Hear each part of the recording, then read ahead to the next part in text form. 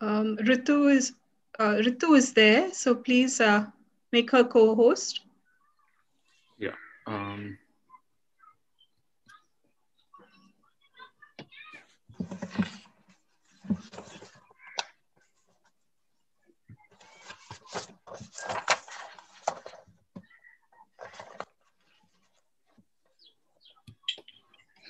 Um, Ritu is uh, Dr. Ritu Ritu, can you so please, uh, uh, switch on your camera as well so that you come to the forefront, you come to the front page?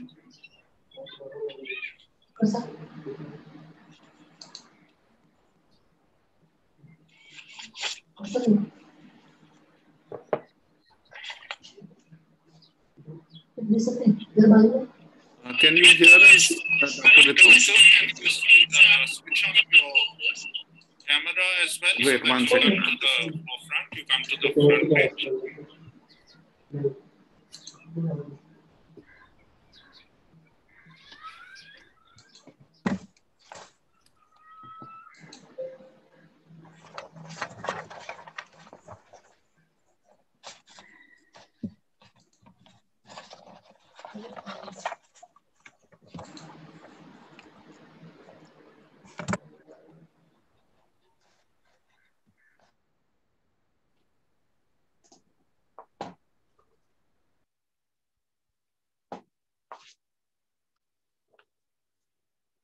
All right. Um, good, uh, good day to everybody, and a very good morning to our friends, committee, and so forth in, in North America and uh, United States and Canada, and then on to Brazil and Argentina and UK, Europe. In the afternoon, Israel, and a very good evening uh, to India and yeah, and then to Malaysia, and of course to Des and myself and others in Australia. It's good, it's good, it's good night. All right, so we are here, as you know, for the 36th um, uh, conference, webinar conference, which uh, we've been um, consistently going uh, running uh, organizing, which has been um, the hallmark of um solidarity, where we have the ability to bring all the regions of the world.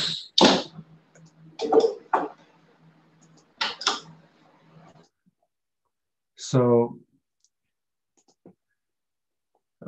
and, uh, and we have over these many um, um, conferences gone through different aspects, including all the disciplines. We even had economists uh, look at, uh, many, in fact, economists and so forth, looking at giving their view. And today is a very uh, important and particularly important um, because we're going to look at another uh, aspect, and this is the perspective of patients, the international patients' perspective on the ethical and moral dilemmas faced by non-COVID and COVID patients in accessing healthcare, in uh, particularly during this pandemic. So, on behalf of the Department of Education of the International Program of the UNESCO Chair in Bioethics, I welcome all of you. As you all know, around 250 centers in 58 countries over all the continents. That's what this program, uh, our, pro, uh, our centers of this program consist of. And we are now um, going to have two past parts today's to today's program. We're going to start off with uh, uh, three presentations, short presentations, putting the uh, uh, bringing um, the um, putting us into this what we are looking at, and we're going to have three very distinguished uh, uh speakers who are going to come. Uh, we go from uh, United States, from United Kingdom, and indeed from European Union, so in um, um, Belgium.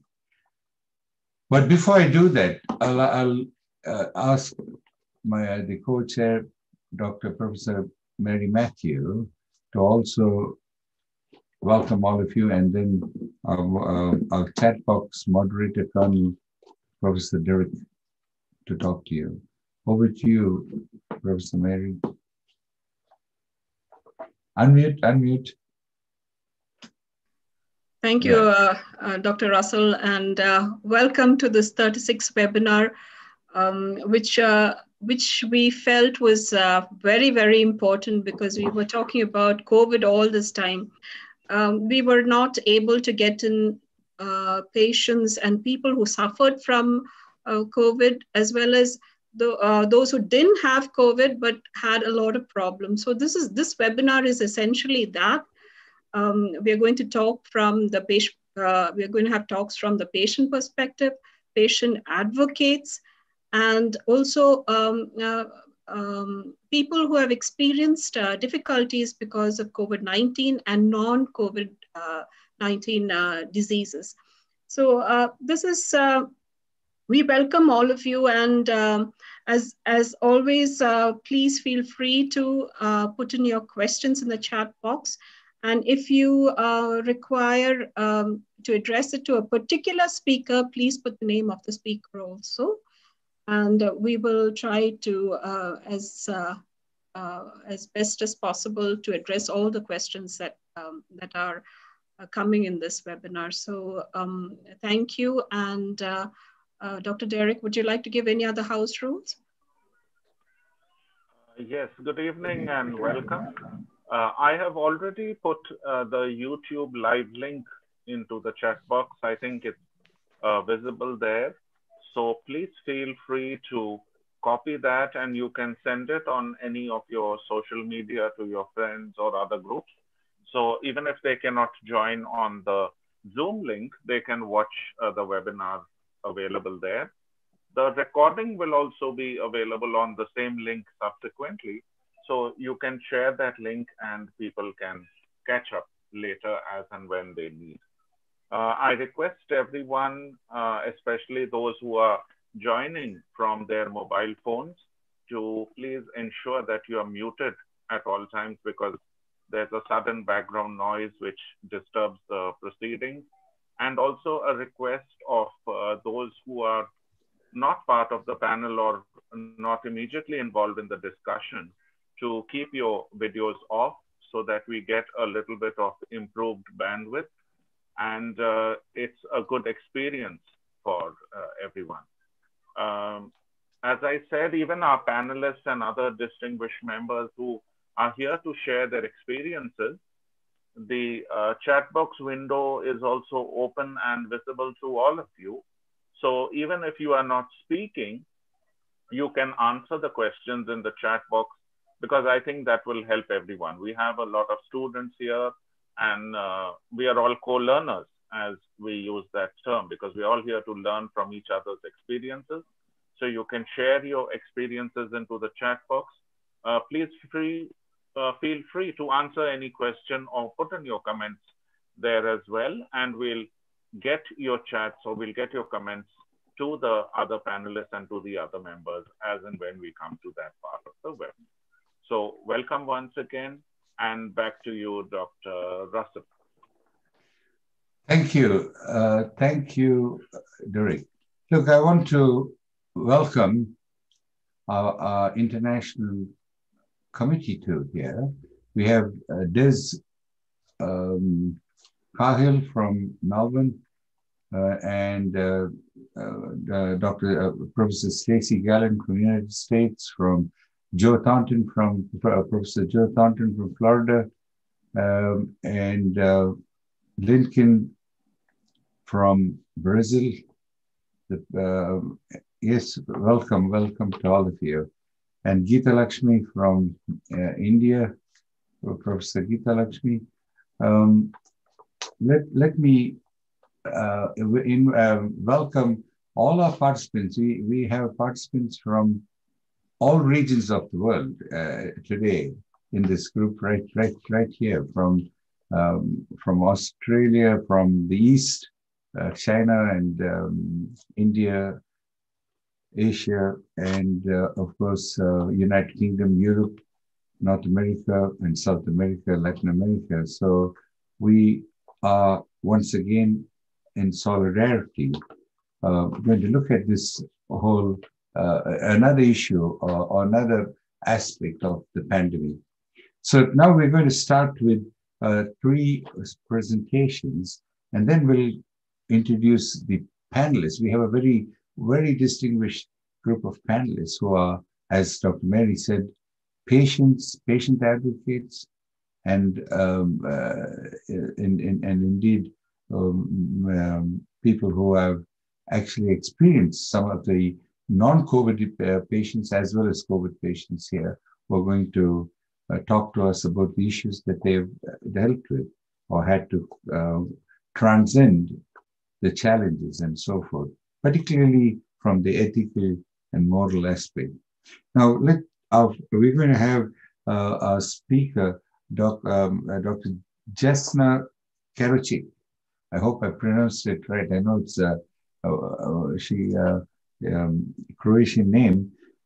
Uh, Jesna is from the, she's the um, health diplomat uh, expert, and she's a patient ombudsman from the International Council of Patient Ombudsmen uh, of the European Union. She's also the head of patient rights unit of the UNESCO chair in evidence-based medicine. She's also with the Cochrane Croatia unit and it from the University of Split School of Medicine. And of course, the main purpose of uh, the work of uh, as a patient ombudsman is in supporting the involvement of protection of patient rights. And so she works and co covers the regions of Belgium, Croatia, and Italy in uh, the European Union. And the second, then we'll have uh, a very distinguished, uh, who are, who's a committee member too, Professor Vivian Harpwood. Now, Professor Vivian Harpwood is the chair of health law at Cardiff University.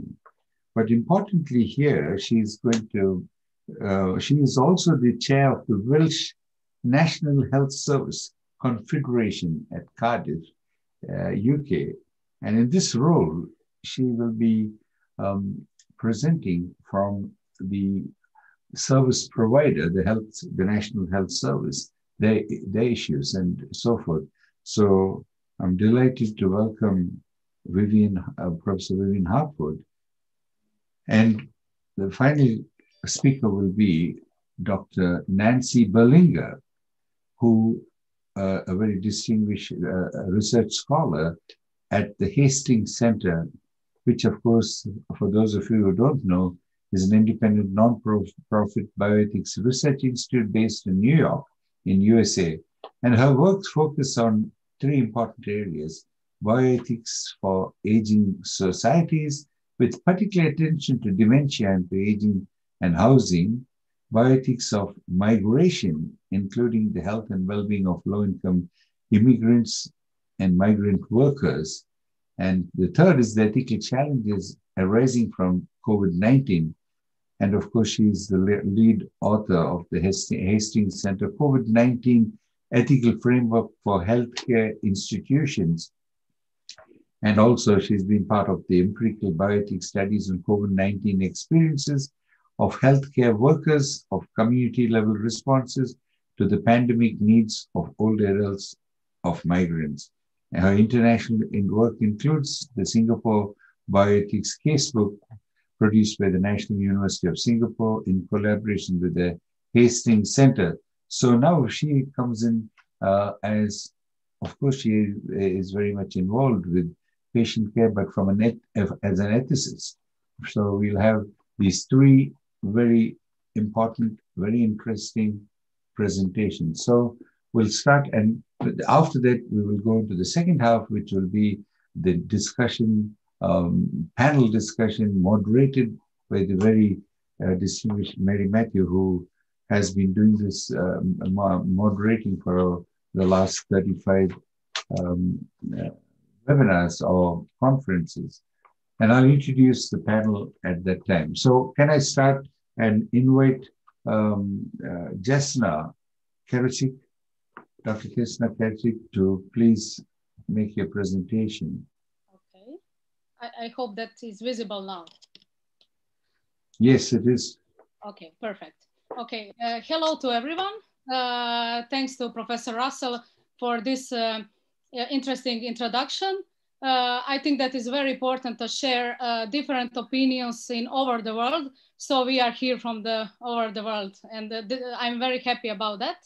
I will talk about ethical and moral dilemmas about limiting access to the healthcare from the part of the European Union.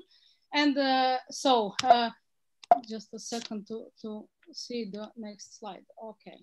Um, uh, when, when we talk about uh, health coverage uh, is an effective implement for achieving health as a fundamental human right, but depends on the country's governments and insurance proposed on the alarming levels of disease severity. The novel coronavirus pandemic is appending healthcare as a business, a profession, and human relationship and the possibility that other viruses will represent a world threat soon looks very real. Uh, so obviously that we have some problem. What does that mean for inadequate access to the healthcare? What is that what we have uh, as a complaints from the patients? Uh, the patient management during the COVID-19 has laid bare long ignored risk, including inadequate health systems, gaps in social protection and structural inequalities. Therefore, the importance of basic public health shows the crucial strong health systems and emergency preparedness. Worldwide health authorities put all hospitals uh, on the lockdown by providing only emergency treatment and surgery. Up to date, uh, doctors dealing with the dilemmas of providing or postponing the already scheduled process which decision depends on the actual situation in the hospitals. It's not explicit, the guidelines process, but could be scaring. And perhaps it's because they don't know what to do as a health crisis put in the shadow of non-COVID-19 patients. And then patients are faced with highly controversial interventions in their treatment and also accomplished restriction in visiting dying relatives force the basic right severely to be impaired. Furthermore, we call attention also to the legitimate concerns regarding the potential for the uh, violation of these patient rights because this protection should be always the first point out. So, uh, do we have a fair that we have a sufficient capacity in the world hospitals? During the initial wave of COVID-19 pandemic, uh, hospitals worldwide diverted resources from something routine, inpatient critical care and outpatient clinics to meet the surge in demand. The COVID-19 might be affecting the hospitals for the next next years, uh, so sustainable development must be uh, must go behind the national strategies and calls to take urgent actions to stop the spread of the virus and avoid the potential risk of increasing death of other disease. This is called global health diplomacy.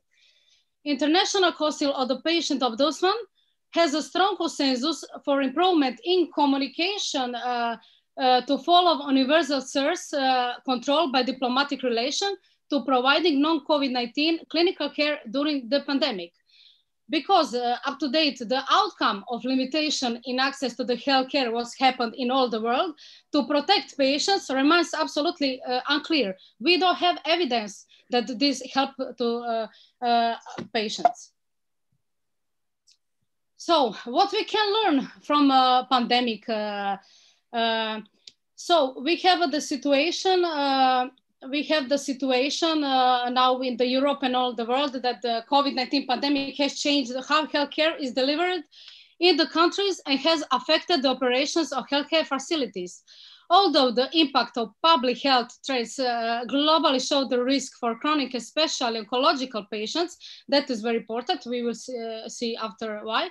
It shows a uh, reassurance of unreasonable defense in medicine as well It may be useful in the future to check the effectiveness of reducing diagnostic procedures in the fact avert the future possibility of malpractice suits.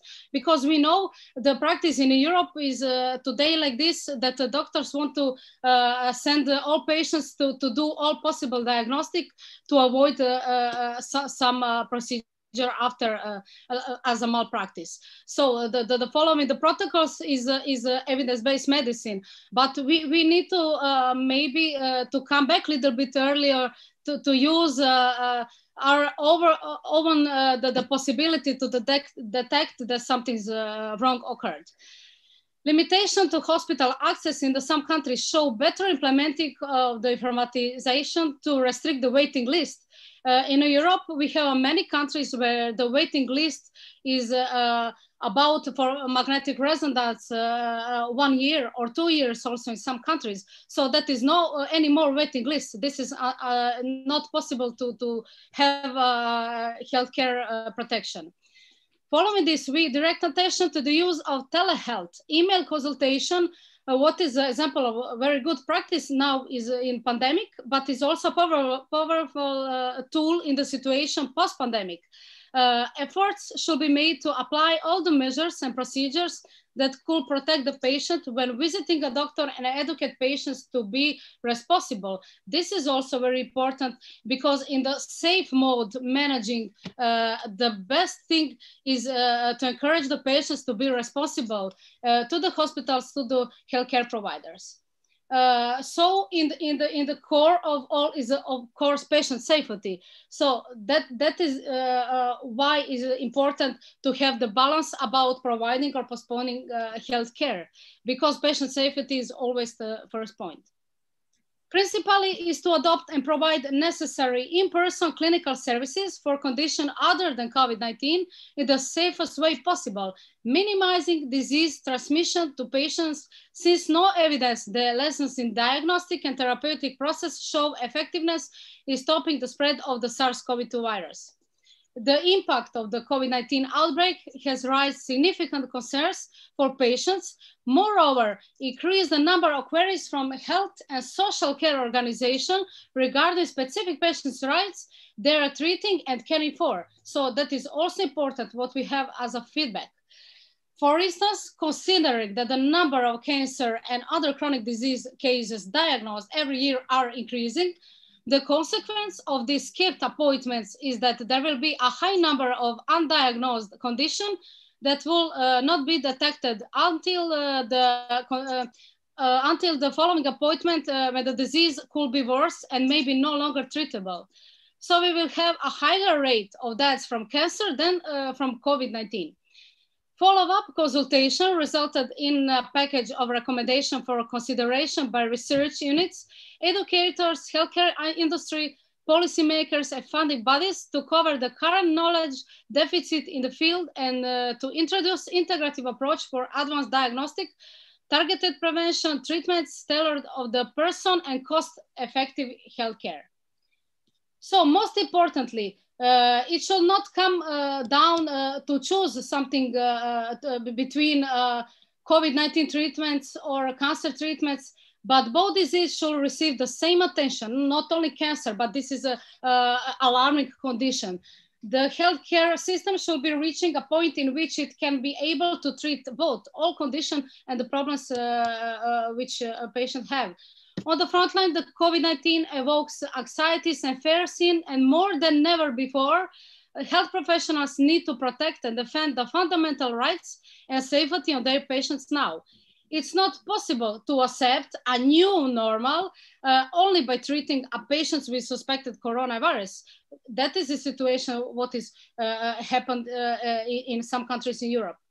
Finally, we need to find the best response on the hospital care management without allocating other important disease and keep the patients uh, informed on the risk and the need to certain medical behavior. So uh, for the conclusion, uh, instead of the conclusion, uh, uh we need to understand better the tracking statistic uh, so that we clearly see how the patients we affected in relation to their non-COVID-19 health problem.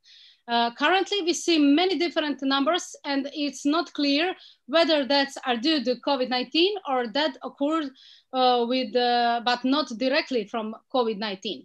Figuratively, if you are shot, did you die from gunshot or died with the bullet? So I'm happy to, to, to discuss uh, with you. Uh, that is uh, our contact. If you have additional questions, you, you, can always send by this email and I'm happy to, to, to see uh, your opinions. Thank you very much for attention. Thank you. Uh, thank you, Jasna, uh, for your um, uh, uh, putting this important aspect there. Um, all of you, uh, if you need to address, you have the chat box, and uh, Jasna has come up as a patient ombudsman, coming to you with what she has heard and what, from a patient perspective, and now I'm going to uh, uh, ask uh, our distinguished next speaker, who's going to be Professor Vivian Harpwood from Cardiff University, but more importantly, her focus is going to be from a service provider, the National Health Service, um, which she chairs, the Confederation of Wales. And so, as a service provider, over to you, um, Vivian. Well, thank you very much indeed for, for this opportunity to give a presentation in your wonderful um, webinar series. Um, I obviously will be dealing with this from the perspective of non-COVID patients in the UK. Uh, and much of what the previous speaker, Jasna, said was uh, very familiar to me. It's, it's, it doesn't come as a surprise, sadly. Um, I also would like to um, share my presentation with you. So I'm trying to put that on screen. I'm not sure that I'm doing it very well. Try again. There. Um, there you are. Mm. You want to, yeah, go yes. then. Right. Hmm. Um, so um, I speak today as chair of the, the NHS Confederation in Wales and also as the chair of a health board, which is responsible for providing healthcare services to patients living within a very large geographical area in the centre of Wales, where, along with Scotland and Northern Ireland, responsibility for healthcare services is devolved from the central UK government. Uh, I also speak from the perspective of a lawyer. Um, and in order to set the context from the start, I want to emphasize that we regard our patients as crucially important in all that we do. Without them, we would not exist. Um, but we do have some very, very difficult decisions to make. And we've never tried to hide any of our patients or to marginalize them. It's just been so difficult dealing with this pandemic, which came as a shock to the UK um, we really were not prepared for it properly at all. I want to begin by showing you uh, a quotation, which I have permission to share with you, um, from a journal in the UK called The Justice Gap. And um, it was, it's a, a, legal journal, really. And this uh, article I'm going to refer to was put together by lawyers who've been colleagues of mine in the past. Um, and the, the headline you see there is the non treatment scandal, the hidden victims of COVID. Mm. Um, and, and as, they, as you can see there, they express concern about the impact uh, on people who are non COVID patients, um, including, um, as, as you see, they're worried about uh, avoidable harm and death, um, the non availability of diagnostics, and the backlog, the building backlog of cases, and they, they're imploring governments to take urgent strategic action to prevent a second and perhaps more serious um, catastrophe. So we, we're all worried about it, we're all aware of it, and that's the uh, a group, a specific group of, I would say, left wing lawyers um, they go on then to talk about the, the problems. Uh, you know, obviously, one of them is that not only are um, non COVID patients not being diagnosed in time, um, but they're not getting any say at all about uh, which risks they would rather take between their established condition uh, and, and be, between that and exposure, uh, exposure to the virus. So it's it's a very very difficult position. They're being denied treatment. They're being denied access to treatment, and they're being denied choice, which is extremely bad. And um, the, the difficulty is that we have to try and find some way out of this. I want to point out then that um, in the UK we have um, a way of looking at COVID, which is particularly used in Scotland and Wales, through what we call the prism of the four harms, um, which is the harm that can be done by COVID itself and all the suffering from that, and the deaths and the tragedies for families, and then the harm that could be caused if the NHS itself, the National Health Service and social care were to be overwhelmed by COVID. And then, and this is in no particular order of importance because they're all equally important, a harm from the reduction in non-COVID activity. And, um, you know, waiting times is one of what just one of the factors there. And then finally, the, the wider societal harms, which have been talked about in some of the earlier webinars, restrictions, lockdowns, problems in education and the economy, and so on. So it's, it's a huge picture that's threatening not only the UK, but the whole world. And everyone in every country is concerned about it. Um, so who are these hidden victims that um, they talk about? And actually, if you look at um, what they said in that article, uh, in, in that uh, Justice Gap journal, there are echoes of the four principles of bioethics identified by Beauchamp and Childress, very important in uh, healthcare and frequently referred to autonomy, beneficence, non-maleficence, and justice. How can we do justice for these patients by making the right decisions? And this list of um, um, people derived from the data are, uh, you know, include what you'd expect really, cancer patients, but also patients awaiting thoracic surgery, routine screening, diagnostics, cardiac surgery, transplants, orthopedic surgery. The list for orthopedics is huge now, just people waiting. And then all those people um, waiting ophthalmologic, ophthalmological procedures. I don't think I've got that word right there. Um, you know, people waiting for their cataract surgery and so on. And finally, um, most importantly, because there's an emerging problem with mental health patients. But, but how do we know who these patients are? And we do know, and we have known from the start, um, we have systems, as do other countries, very sophisticated systems for tracking patients. Um, and we have sort of waiting times um, um, data for planned and unscheduled care throughout the UK. We, we know what the lengths of waits are in our emergency departments and our ambulance response times. But we also get information from general practitioners who see patients in the community. And um, we get information from patients groups, from coroners' inquests, and very importantly now from the media.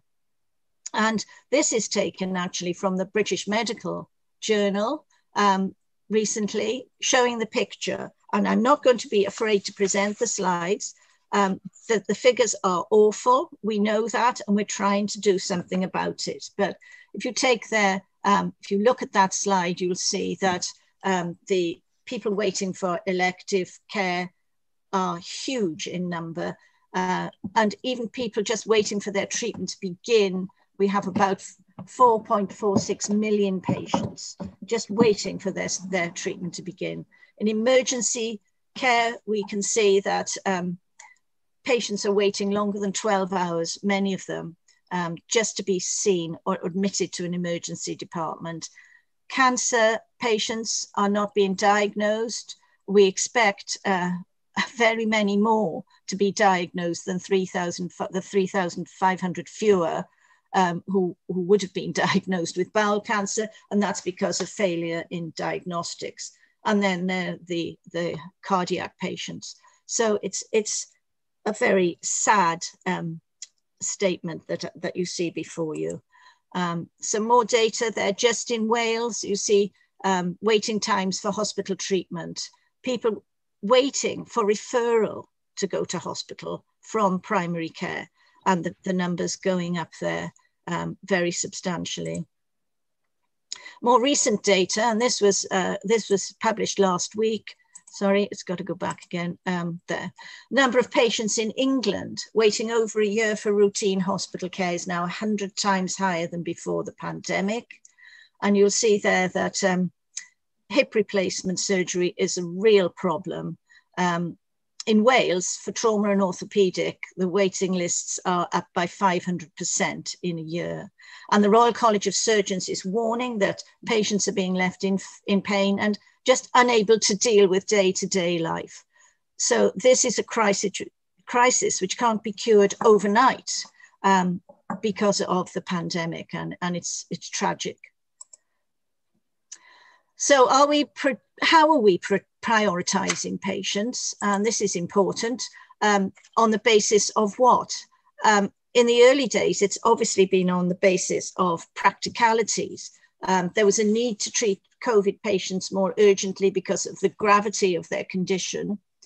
Um, so that meant then that uh, priority two surgery, such as cancer, urgent cardiac surgery, and so on, had to be postponed even though we recognized that it was medically necessary to be done within 28 days.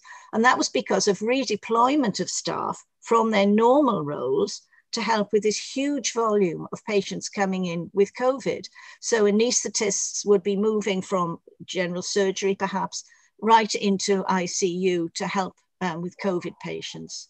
And then on top of that, we have many staff uh, who are ill with COVID, um, who are testing positive, having to self isolate, uh, or maybe suffering from stress, mental health problems. And that created terrible problems for us logistically. Uh, and then, um, you know, uh, infection control um, procedures had to be put in to ordinary waiting areas, for example, in accident and emergency departments. So um, you couldn't, you had to have separation of patients, screens, and all those sorts of things. So they had to be suspended for a time, even in non even in outpatient departments. So then there was the problem of patients who were actually afraid to go to hospital in case they caught COVID. And we can see that number of people attending A&E, accident and emergency, uh, had decreased. So pay, people were sort of putting up with pain, um, which they shouldn't have been doing.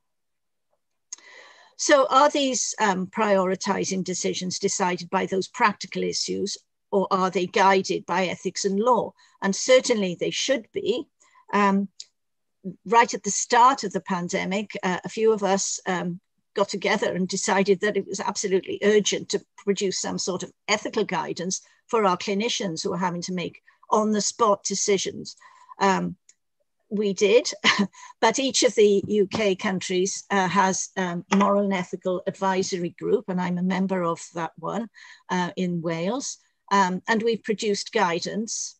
Um, but in addition to that, uh, that guidance, which I hope is being used as much as possible, there are numerous um, legal imperatives. We have common law and statute. We have equality, human rights law. We have uh, judicial review actions if organisations fail to follow the correct procedures. Um, and interestingly, in Wales, public bodies from the 31st of March will have to uh, consider socio-economic uh, disadvantage as a matter of law when making strategic decisions. And that should very happily, I hope, feed into the dilemmas that we have about uh, prioritising COVID patients. Um, so what are the options for these patients who are feeling hidden or forgotten? And it's very sad that they do. Some go to the media and we have regular reports on television showing footage of patients struggling to live their lives in, in an ordinary way on day-to-day basis because they're in so much pain. Um, they may seek advice from patient groups, and we have some excellent patient groups in uh, the UK, as they obviously do in other countries. We have an NHS complaint system, an ombudsman. Patients have the right to bring equality claims or judicial review claims, or even clinical negligence claims, which already um, cost a huge amount of money in compensation and costs. And so if they want to use the law, um, patients would have to consult a lawyer. Over the years, there have been very many successful claims by patients who suffered as a result of de delayed diagnosis and treatment. Um, will that be the same following the pandemic? Uh, I don't propose to lead you through the tangled web of complex law around all this. We don't have time anyway, but it, it's extremely interesting. Suffice it to remember that patients who are damaged as a result of negligence have a right to compensation, but um, they do need to take some responsibility for their own health, be involved in their decisions, and, and so on. And we mustn't forget that there's buried treasure among these um, so-called hidden patients uh, for lawyers representing patients who want to bring claims, which is, um, of course, financial incentive for lawyers to get involved. Um, patients do have a right to appropriate information to enable them to make choices, and clinicians should be giving them the time to make those decisions in a rational way. We don't even know at the moment whether they're getting all the appropriate information that they need. And there's also an NHS constitution applicable in England and uh, Scotland, setting out some very important rights for patients, which again, something I don't have time to go into right now. So just for reassurance, these patients have not been forgotten. Managers and clinicians together are seeking clinically led solutions to ensure that all services are sustainable as far as possible into the future. And don't forget, we will have a large cohort of patients with post COVID syndrome or um, long COVID, as we call it here. Uh, plans have been made throughout the UK to reset the NHS. Um, groups get together weekly um, to discuss how this is going to be done, and we all have to submit plans to our governments. Um, and in addition to that, there are numerous innovative um, forms of treatment which are being used, of course, throughout the world. You know, video consultations regularly taking place, virtual groups uh, for therapy, interventions from voluntary organizations, and so on. And there's regular collaboration between patients, I'm sorry, and um, healthcare professionals. And finally, the law may be on the side of patients, but it's very, very complex in the UK. I hope very much that we will have very soon clear guidelines based on evidence and ethics to guide us through this maze. Thank you very much. Thank you. Uh, thank you, Vivian, for that um, uh, presentation from another perspective from the National Health service. Um, and those who want uh, to ask questions or comments can, on the chat box, address it to Professor Vivian Harpwood. Okay, thank you very much. And now it's uh, my pleasure to uh, invite and introduce, uh, I've already introduced Dr. Nancy Berlinger. Um, and of course, Nancy now going to, is going to present to us uh, from another perspective as an ethicist from the Hastings Center. So, Nancy, over to you. And I think you're going to talk without slides. Is that right? Correct. Very good. So, okay. uh, over to you, and let's okay. let's. well, good morning to everyone from New York City, where where I am right now. Uh, I am a research scholar at the Hastings Center, which is an independent, so non uh, university affiliated uh, bioethics research center founded over 50 years ago and located about 50 miles to the north of me in uh, Garrison, New York. Usually, um, on non COVID times, we have a very active visiting scholar program. It's a residential program. We have many um, visitors from around the world. And I hope uh, when uh, we are able to restart that program, uh, I will hear from you because uh, it's a wonderful opportunity for us to learn from you and for people to get on with uh, some of their own work.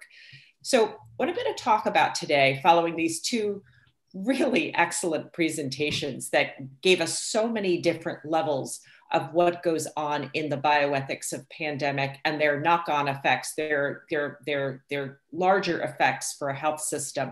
Uh, I really want to thank my colleagues. Um, I want to uh, get into a bit more of why we talk about the patient's perspective and why we think this is important in bioethics and in the closely related area of medical humanities or, or health humanities.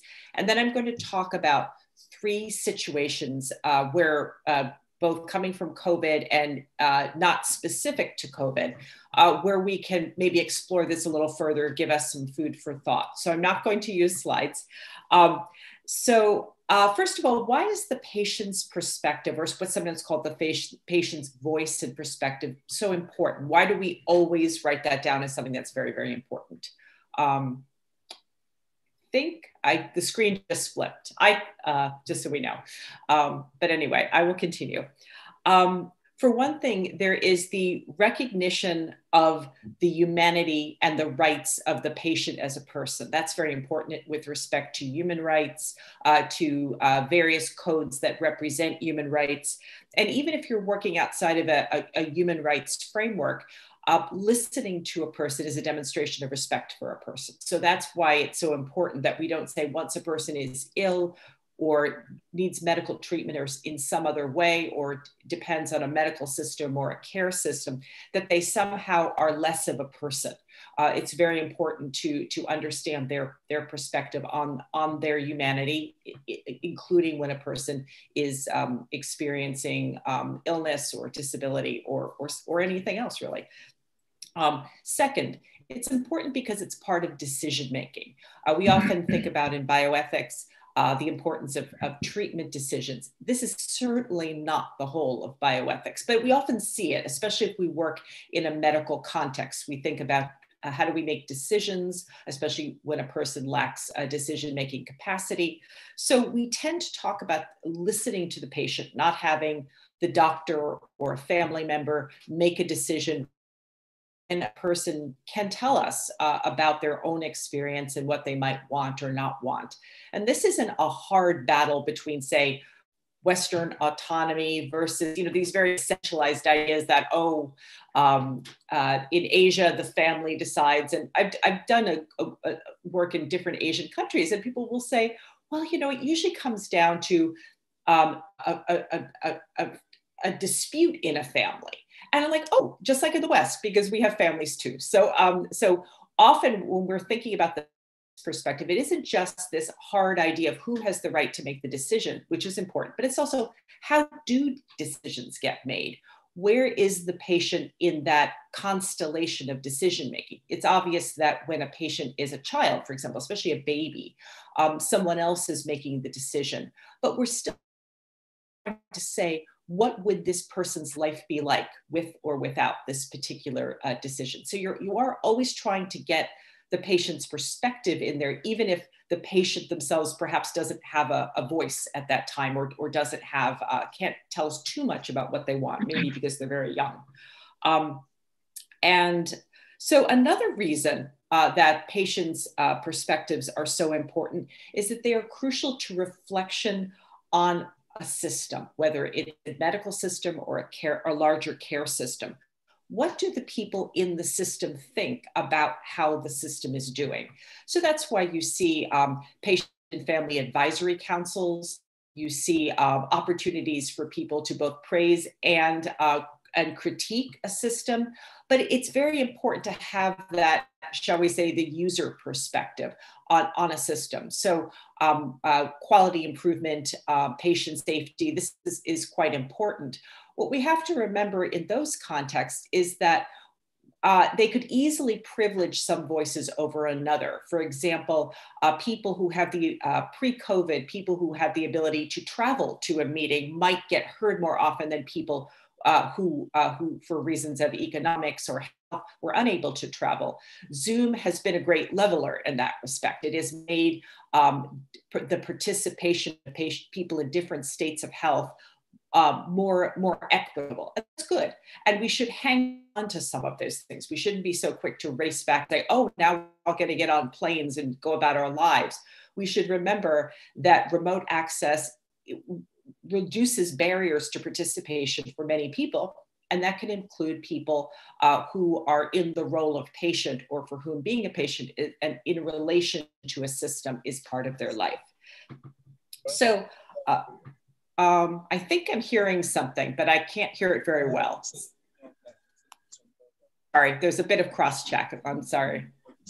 Go ahead, uh, uh, Nancy, go ahead.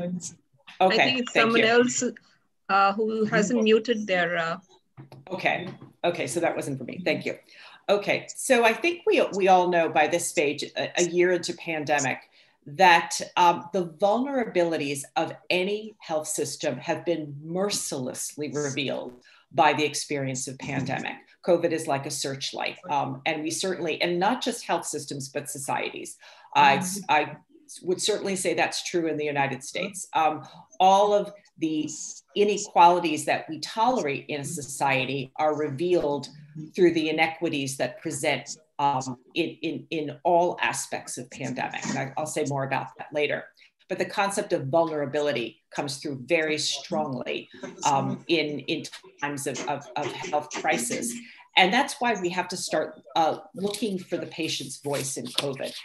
And I was talking with a colleague in uh, London just last week. We were both saying, you know, we had both worked in uh, HIV/AIDS a long time ago. We were saying, you know, compared to HIV/AIDS, compared to that pandemic, which which um, resulted in the deaths of 30 to 40 million uh, people globally, we haven't heard as much from patients in COVID. Now we can see why. It's still a fairly young health experience. Um, we have uh, the experience of COVID means that people have been in isolation, in some cases intubated, too sick to talk about the experience. Of course, people who have died are not able to comment on their experience. Because of isolation, families have usually been uh, unable to be at the bedside. So there have been all sorts of use of, of, of um, uh, iPads and phones and any way you could to maintain a contact with families. I'm part of a study right now where we're interviewing frontline doctors in two cities in the United States. And we are already hearing about how haunting that is. Just the idea that when you're a doctor and you're trained to care for a patient and a family, the family isn't there. So you know that patient isn't having the support that you would you would hope that a critically ill person would have the family isn't getting information in anything like a timely fashion, nor do they have the presence of their loved one.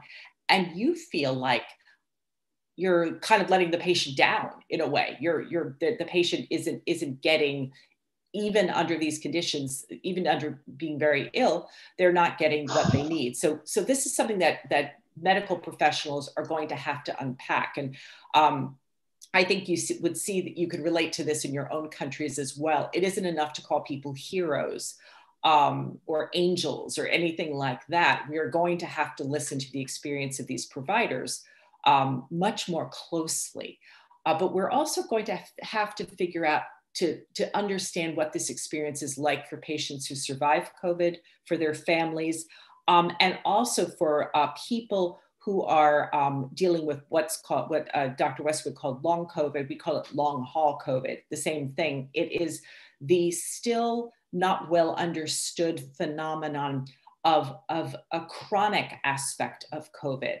Um, we there was a very good um, series in the Washington Post here in the United States of, of voices uh, uh, from interviewing different people about COVID. And there was a perspective the other day from a young woman who had long COVID, and uh, it's it's quite a devastating and very hard to understand experience. There's no book you can turn to or website about this yet. Um, there are some support groups, but uh, thinking about this as an ethicist, I'm in, interested both in listening to that voice and making sure I don't think about the hospital perspective all the time, because chronic Ill- illness, disability tends to be outside of a hospital context.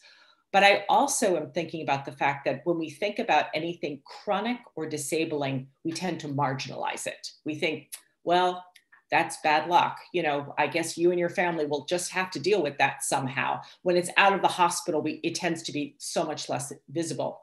So we're going to have to think about that patient's voice, how we listen to this person, and how we use their experience to build out our already hard pressed health systems because to accommodate this experience of long COVID that we don't understand very well yet. So that's something to keep your eye on with respect to pandemic.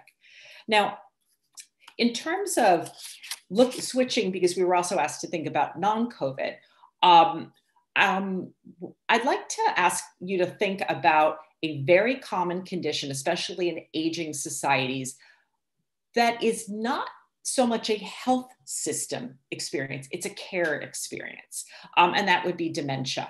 It's strongly associated with aging. So, in aging societies, which tend to be wealthier societies, um, where uh, the uh, the lifespan is going up, people have more and more um, uh, likelihood that they will develop some form of, of dementia. Alzheimer disease is the most common form of dementia.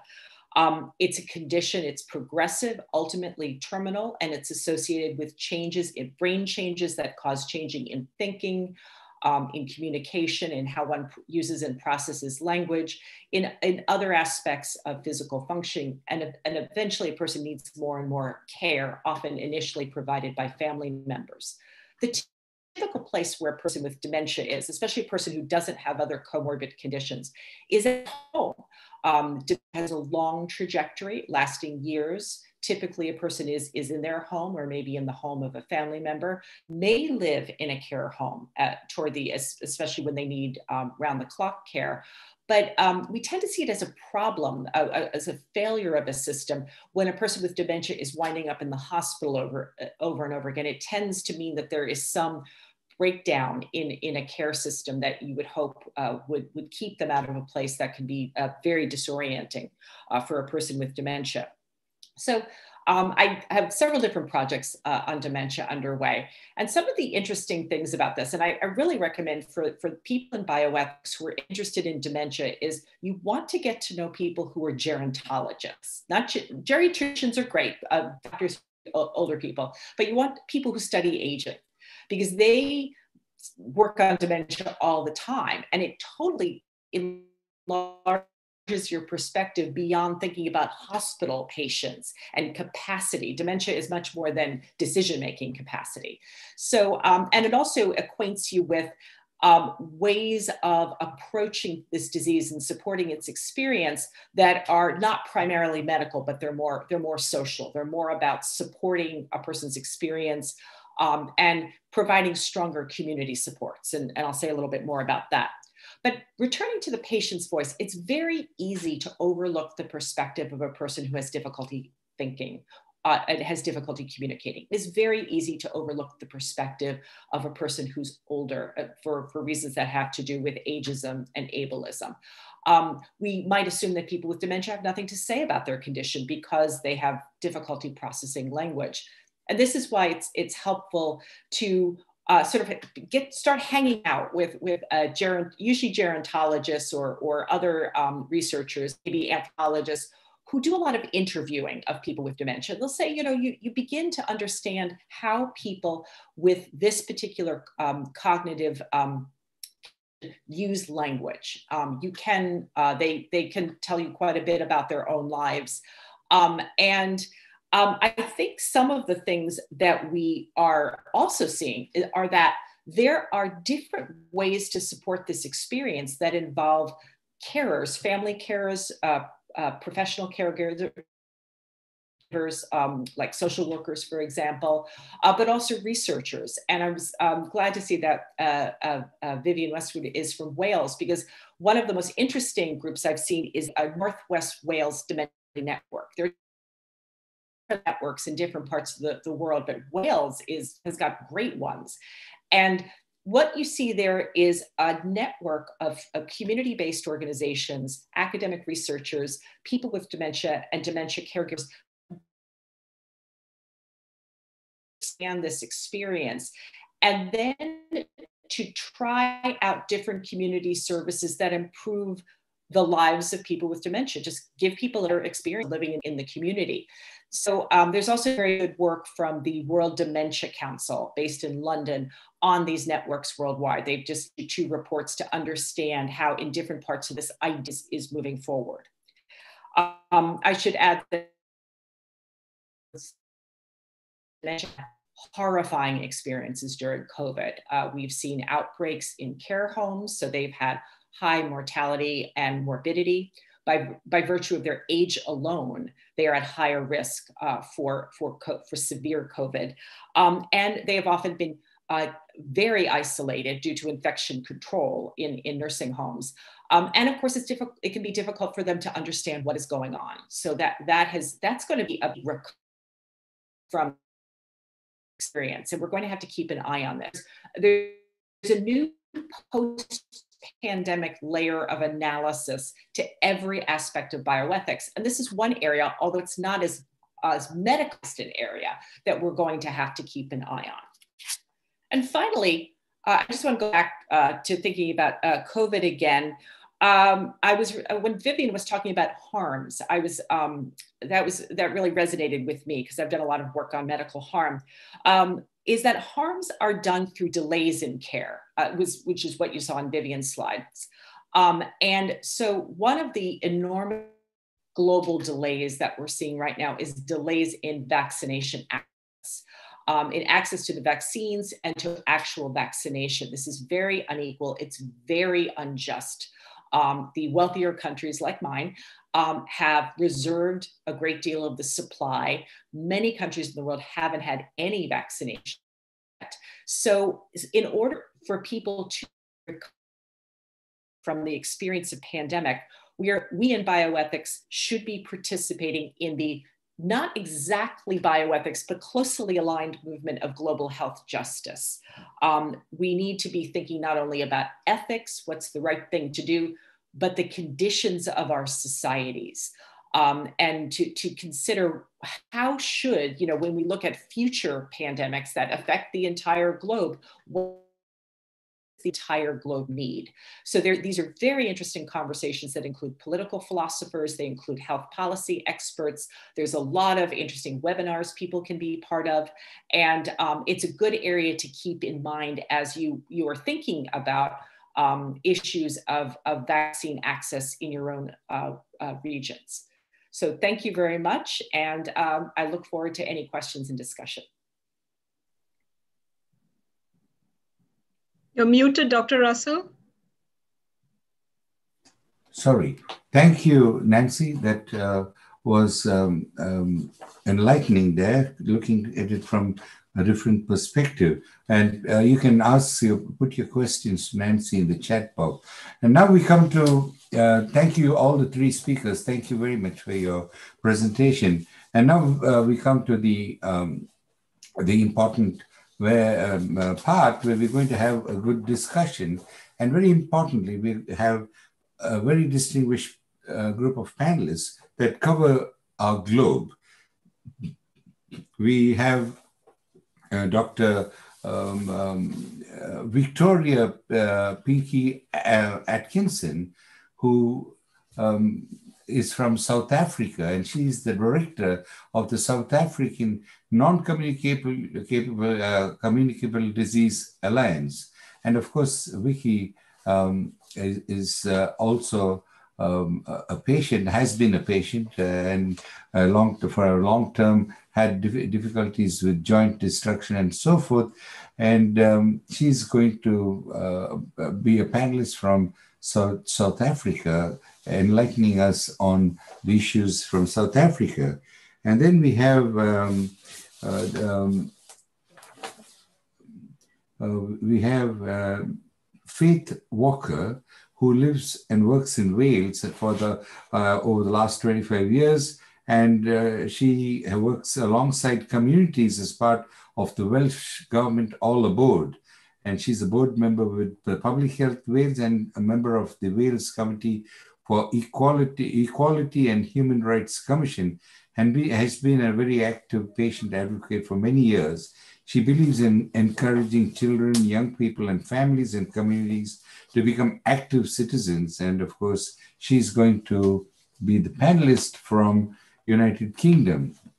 We then have uh, uh, Mark Weir uh, from Canada. and um, Mark is the Director of Strategic Planning and Community Engagement at Woodstock Hospital, where he's led the development of a new strategic plan for the hospital, as well, uh, as well as he engages the community and patients and families in the work of the hospital and the Oxford area Ontario health team. But he also has, uh, in the past, led a team in patient engagement, supporting the Minister's Patient and Family Advisory Council. So Mark is going to give us from Canada um, an opening into what's happening and how this corresponds uh, to what we are, the theme of today.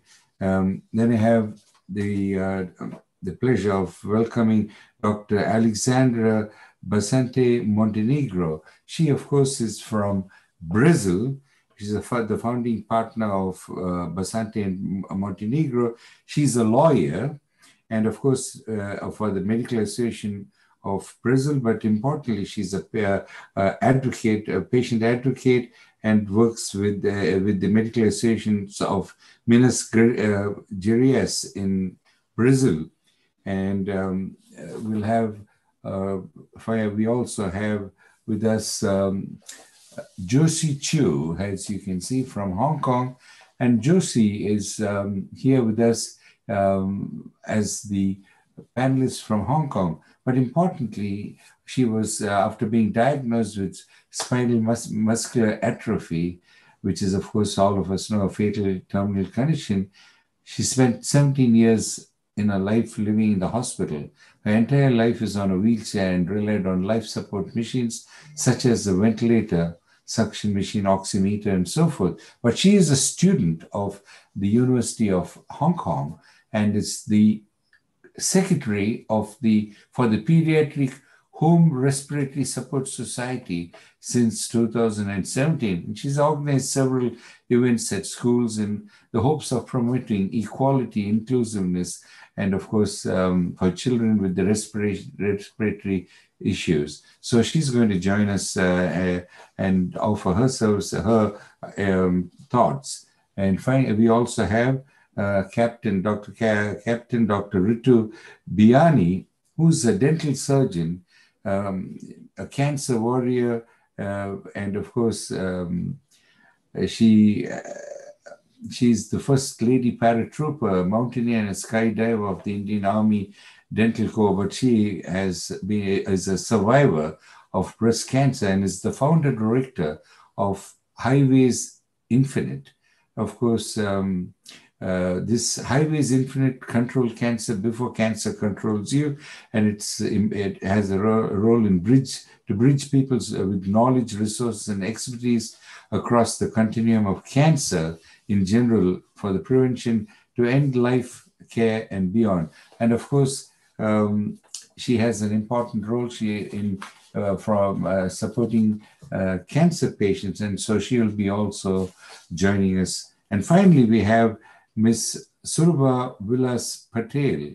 She is a patient representative. She's the deputy registrar of uh, at Amra, uh, Amravati University in Maharashtra, but she's a COVID patient who's going to tell, uh, offer her um, state. So, uh, as a panelist, now it's very important that I uh, bring Professor Mary Matthew, who is um, um, going to be the moderator. She is, of course, uh, um, who, um, an expert and a very distinguished moderator, having moderated more than 35 webinars over the last year in this uh, in in the various uh, the webinar uh, the series that we've been running. So, Professor Mary Matthew, over to you and welcome.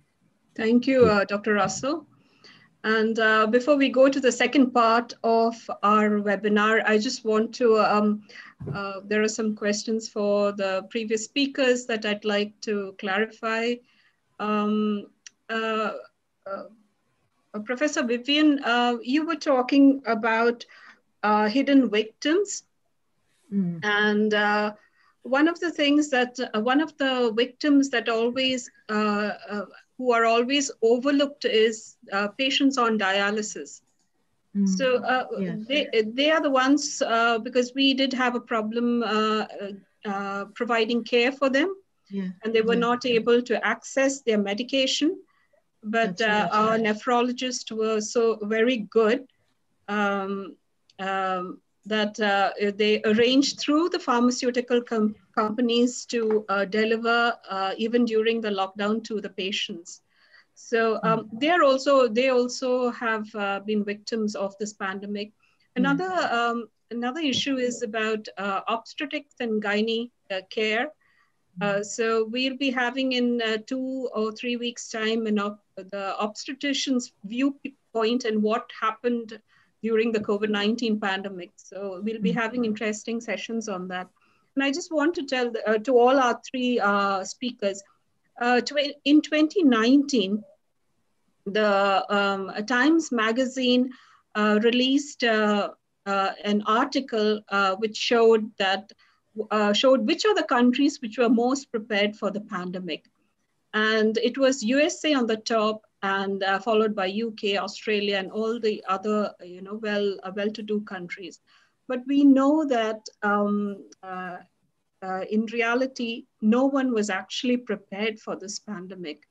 And uh, it was really nice to see that um, uh, Professor Vivian giving us about the various laws and the systems that are play, that are already in place for UK. In fact, UK also had um, they had a uh, dry uh, they had a drill in fact for uh, the emergencies uh, regarding a pandemic. What should be done, but uh, we don't know what happened to that uh, report. but it, it's really nice. Correct. correct me if I'm wrong, Vivian. You're muted. You're muted. No, no, you're quite right. We did have um, some preparation, but I don't know quite what. Yeah, that report uh, was lost. Mm. Uh, you know. Mm. So, um, but it's nice to see that country that at least UK has something in place, and I hope it will it'll be sustained, and uh, you can take it forward. My question right now is to all our panelists: is which are the other countries really prepared for the next pandemic? Because uh, people are talking about bioterrorism now and you know what is going to happen and you know are we all prepared for this? So um, because right now we are so overwhelmed with dealing with the pandemic itself that uh, I, i'm not sure whether governments are actually thinking about putting um, you know uh, policies for the future. So that is something we should keep in mind that we should be um, i mean uh, that we should not be lax when it comes to um, uh, implementing policies for future pandemics. So um, I thank all the three speakers and uh, it was lovely um, uh, listening to all of you. And with that, we'll move on to the second session. And the second section is going to be very interesting because we have the viewpoint from uh, patients with COVID, without those who didn't have COVID, but they had other illnesses and their struggles. And of course, we have uh, patient advocates. So can I call upon Ms. Josie Chow to um, uh, come on screen?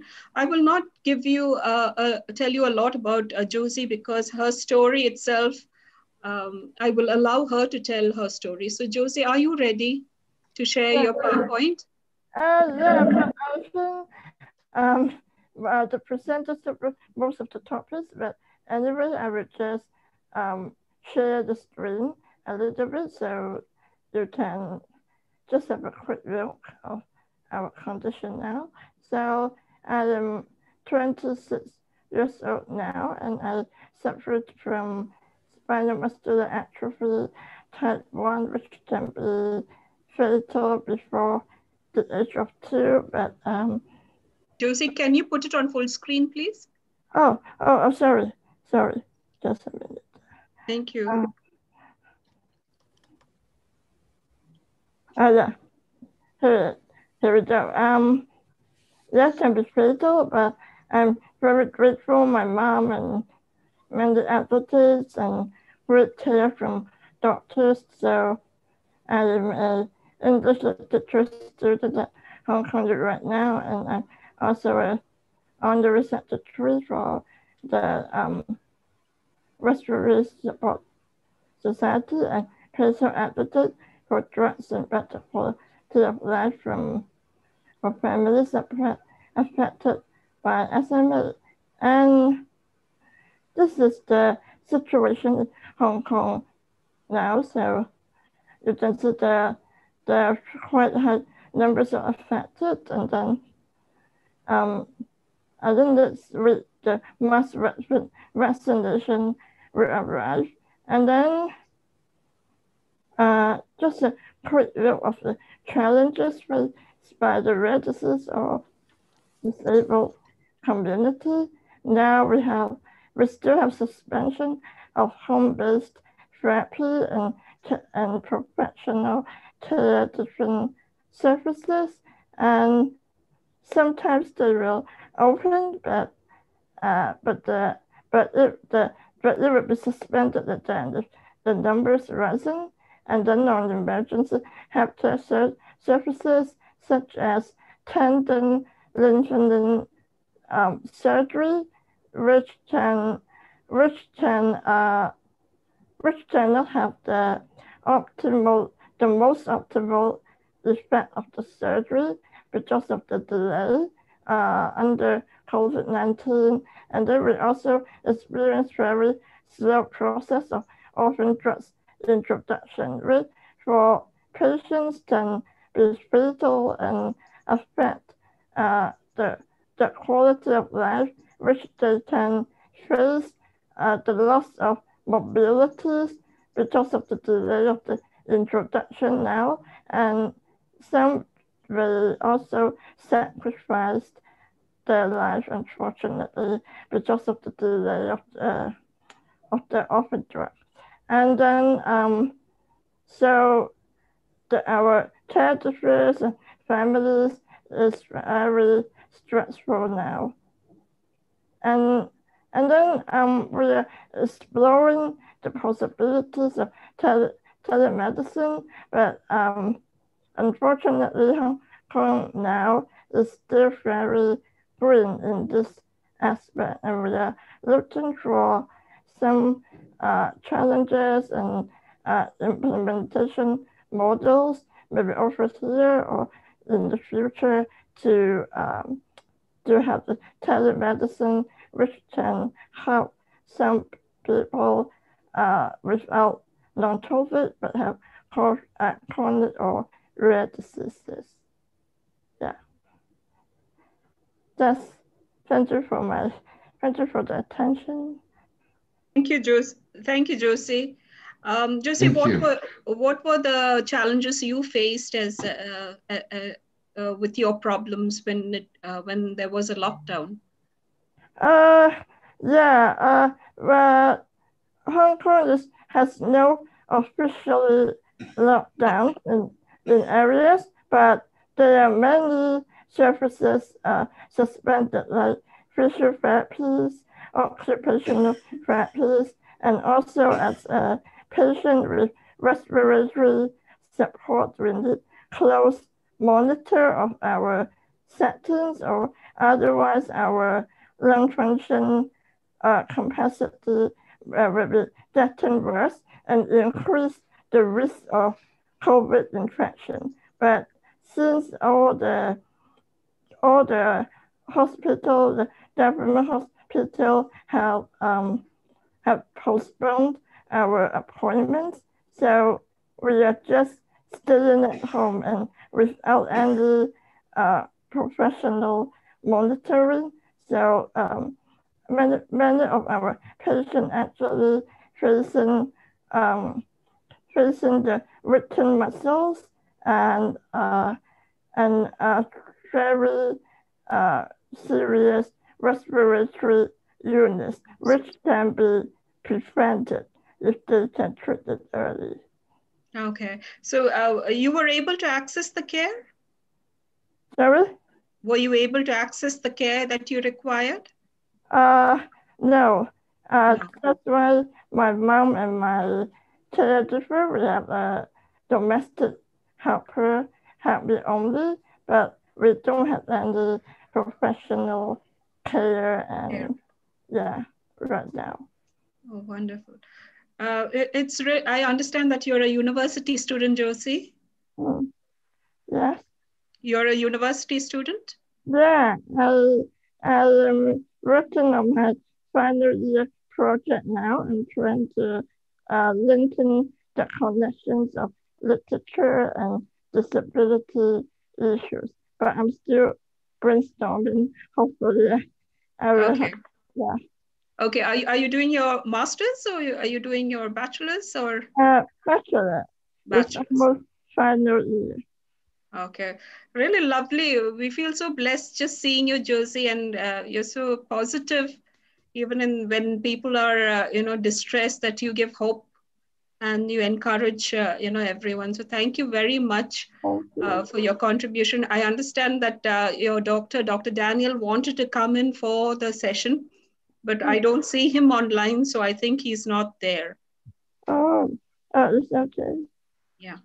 Uh, so thank you very much, Josie. Mm. Thank you, Josie. Thank you very much. Uh, can I can I ask uh, Dr. Victoria? Dr. Uh, Victoria is from South Africa. Vicky. um, Vicky I here. think- Thank you, Josie. Hi, hello everybody. Yeah. Um, okay. Uh, Can you hear me? We can hear Yes, you, we Vicky. I think you came in a little late uh, I because we were. I'm we- sorry.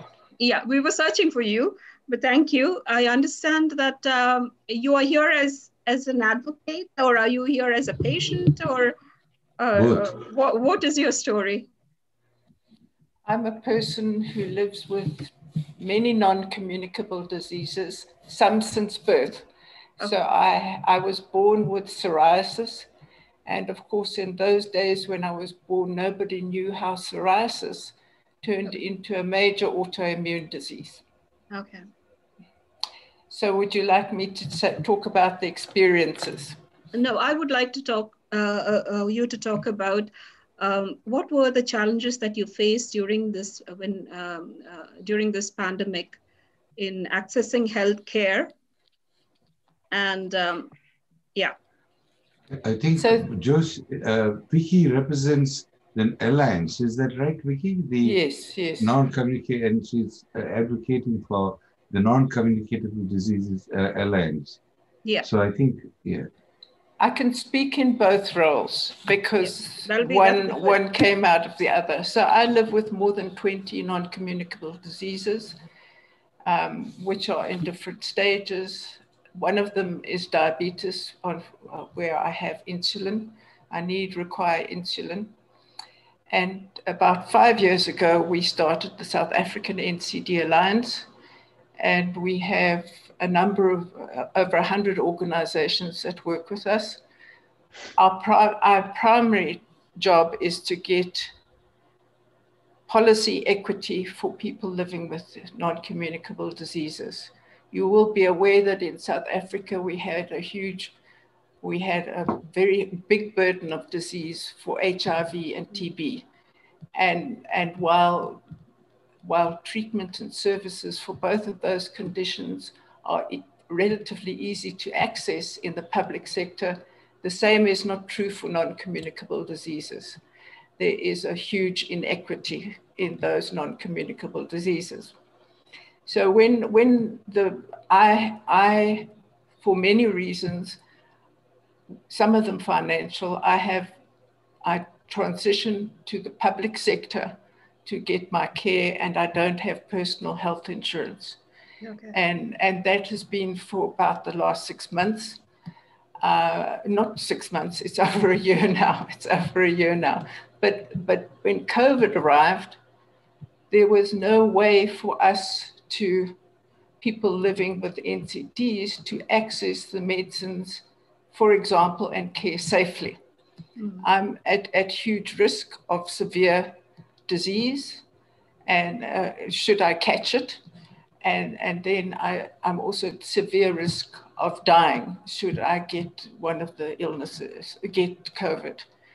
And so, as a person, I needed to access my medicines through the state sector. It was just too dangerous to go and stand in queues to go and, and either try and get medicines or to go and get seen, start my treatment in the private sector. And so, fortunately, I'm a healthcare professional. I have specialized somewhere in my life. I never thought I would have diabetes, and so I could manage. I can manage pretty well on my own. Hmm. However, it's costing me a darn fortune, and I can't get the medicines I need in the public sector. So, anyway, because they aren't there. So they're not available. They use very old medicines and the, the insulins are very old. Okay. And, and so it has been tremendously difficult for, many. And why can I say that is because we also, I also ran a helpline. I ran a diabetes helpline from the beginning of, of COVID because I knew exactly what was going to happen. Okay. Um, I, I understood that there would be a problem with access. I understood that self-management was an issue. And, and, and some of the calls we got, we could, we could do with a colleague, I ran that with Rozana Ali. We ran it and we did training, we gave infographics, we gave interventions where possible. Sometimes we helped to arrange medicine to be delivered to people who could not. One case was of a woman who lived in, in um, Cape Town. She had diabetes, type 1 diabetes. She had, um, she was pregnant with a child and she had, she had asthma and she had to travel because in our healthcare system, insulin, for example, is only available through higher than district level hospitals. She had to travel from her place all the way into the center of Cape Town on a taxi, public transport, greater risk of getting it, and then come back. So that would have been a whole day's journey for this lady. And we were able, through various means, to get her medicine and she was in her 28th or 29th, she was in her 31st week of pregnancy. So it was, um, it was, it was important. Then the other side of this, which are the social issues, where we had a very strict and hard lockdown right at the beginning. And that lockdown terminated, disrupted food supply. And so for many people who are diabetic or who had their incomes terminated, they, they just ran out of food. And the food parcels couldn't get to them. And it was a, a deeply difficult time, and it still continues. Although the, the, the food supply shortages are, for many of the population are easing, the nutritional aspects for all children and many of the more vulnerable people are, are, are still there. And we've got, we've got, we are risking a whole generation of people with food poverty and food insecurity. So I don't want to paint too bleak a picture, but I think it, it's highlighted for us the inequities in our health system, where we are compare that to what goes on for HIV and AIDS, where they can get medicines, most of the people with HIV and AIDS are, are in places where they can go and collect their medicines safely in a, in a district distribution. And that, if you look at the statistics of that, the, the number of people with NCDs who are in that particular, on those lists is minuscule. It's less than 20%, yet the burden is much higher. And so, so for us, and so we, we have lodged in this period now a, a case with our Human Rights Commission against our government because we believe there is policy inequity. Okay. And it was there before COVID and it will be there after COVID unless something dramatic happens. And so it is for us Thank you. I've spoken enough. I'm, i can go on for hours. I'm terribly no, sorry. no, uh, Vicky, I just uh, uh, on a. Um, I mean, we have to do something more about the, the situation because um, yes, uh, you know the governments uh, they haven't been uh, you know showing good leadership or even you know when it came to care and COVID. But can we do something more that we can have some sort of systems in place so that it, it does not happen again? I think we should be looking into that now, uh, you know, because uh, this is the time for us to have these kind of uh, keep in mind, you know, how to work out these kind of problems and streamline it, and not wait till the next pandemic or any other disaster happens. Absolutely, you know, health system strengthening in our country, unfortunately, only went as far as HIV rollout programs. Mm. And, and, and we have plenty to show. So, one of the things is that we need the political will and the openness, and we need a focus on universal health coverage. And it needs to be so that equity is built in, built yes. on priorities in the built on priorities that are real in the community, not just donor fund projects.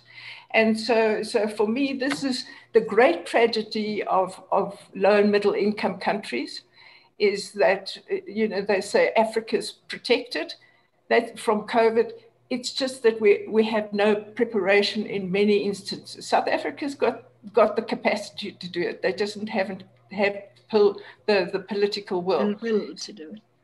And, and that's what, if we are going to be real about UHC, it's not just about selected illnesses, it's got to be about those illnesses that are priorities according to epidemiological evidence based issues in the community. And so it's perfectly doable. The big problem is that health, health system strengthening does not deal with integrated person centered services. Mm. So the, the services have always, health system strengthening has always excluded patients from beginning to end. So to get a voice, unless you are out, you need patients need to fight and hold their governments accountable. And we do need it not to happen again. And this was perfectly predictable. It was absolutely on the card. So I don't know what the surprise is anyway. Yeah. Thank no, you. Uh, citizen voice is very important, Vicky, because uh, uh, then only accountability comes in. Uh, otherwise, uh, uh, you know, it'll keep on, the same thing will keep on happening again and again. Quite right. Thank and you. so, so sorry, it, I'm going to do my activist thing and say, we got to hold our governments accountable. Yes. It's not it's not very easy because I tell you, you get vilified very quickly and put on a hit list that you know you're talking nonsense. I've I have written to our Minister of Health for the last two years. He's never once responded to our complaints and all the rest. So go for it. We've got to get this right for the people, for the yes. ordinary people in our countries. Thank you. Thank you very much, Vicky. Thank you. Thank uh, you. Can I call Mr. Mark? Mr. Mark? Mark Hi. Can you hear me? Mark, are you there? Yes, yes, Mark. Yeah, good morning from snowy Canada. Yeah, a... Mark, I, I brought you in for a particular reason because uh, you deal with patient engagement and you've been listening to all our, uh, the, you know, the, the stories, the sad stories regarding distribution and access to care. Uh, in Canada, was it difficult or because you heard Vicky say to go and get uh, just uh, you know her insulin uh, was a big uh, you know hurdle itself. How did it work out for access and care and equity when it came to Canada? Yeah, thank you again for the invitation. And uh, you know, I've had the privilege over my ten-year career to really uh, make strides with patients to to really advocate towards more patient-centered care. Um, even a year ago, we developed a patient declaration of values for our, our provincial uh, healthcare system here in Ontario. And when the pandemic hit, that really, it, it like the principles of patient-centered care really ran up very hard against um, public health, uh, public health measures, and thinking about the collective good and well-being. And so, very quickly, uh, I think you know a lot of patients um, were willing to, uh, you know, have some impediment to accessing care because there was a little bit of fear. Certainly, I think a lot of people knew that uh, there wasn't a great um, PPE, uh, personal protective yes. equipment in the healthcare system, and you know, so they they were willing to forego um, some access to care. Um, but you know, some of the our areas of um, greatest concern actually weren't so much in in the hospitals. People uh, ended up kind of going back to getting care there fairly quickly after uh, the pandemic started because I think once once the hospitals had you know really got their PPE and infection control, you know, in place. Um, there, there wasn't as many concerns there, but our, one of our biggest areas of concern actually was in long-term care. Yes. Uh, so there was some significant um, issues there, um, major outbreaks, um, and what actually, um, you know, started to become a really big issue here in Canada. Wasn't wasn't so much always access for patients accessing care, but it was it was the role of their loved ones in their care. And you know we've really come to appreciate that you know if there's there's evidence to uh, based uh, on this that um, that caregivers play a significant role in the care of their loved ones it leads to better outcomes better experiences greater ad- adherence to treatment and, and more active participation. And so you know um, there was there was a lot of concern about you know very strict um, changes in policy around visitor guidelines including in hospitals um, but also in long-term care. And so um, it really shone a spotlight on, um, you know, the role that caregivers play in the care of their loved ones. And uh, there, there's been over time a number of national organizations have introduced policies to say, you know, it's, it's you can't just say everybody's a visitor. That's sort of mm-hmm. what they uh, ha- the, the language had been around. That there are certainly visitors, but then there's also caregivers and loved ones that play active roles in care. And most of the complaints that ombudsmen were receiving were, were around visitation policies. And so, um, you know, I think it kind of strikes to the heart of this has really been a struggle for, I think one of the speakers earlier, the humanity of healthcare has really struggled. And so, um, you know, there's been a lot of kind of stepping back and thinking about okay how do we how do we make sure that we are um, providing care in this human way? Because you know people are uh, as patients you know um, going a very difficult journey and they need their loved ones active in their care. Yeah. Uh, and but so, there, there, uh, but mark there was there's also an issue legal aspect of it too.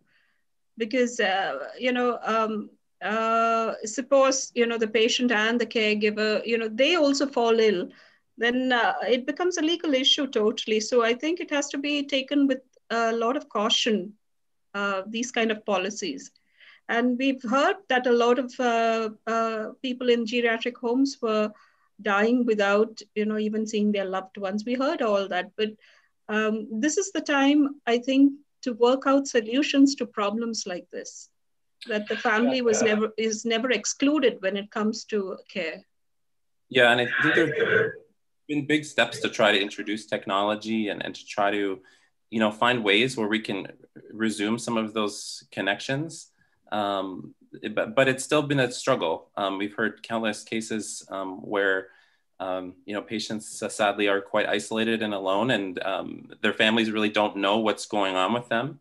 Mm-hmm. Um, you know, I have a family member actually who who had contracted COVID, and we really didn't hear anything about. We didn't know how they were doing. We didn't know when they might be if they were going to be discharged. And um, yeah, it, it, has been a, a, real struggle. So yeah, I appreciate there's certainly been a lot of focus on yeah. some of the legal elements, but trying to reintroduce um, and, and, make sure we haven't lost uh, some of the progress we've made towards patient-centered care and, and focus on um, patient involvement in their own care and family involvement.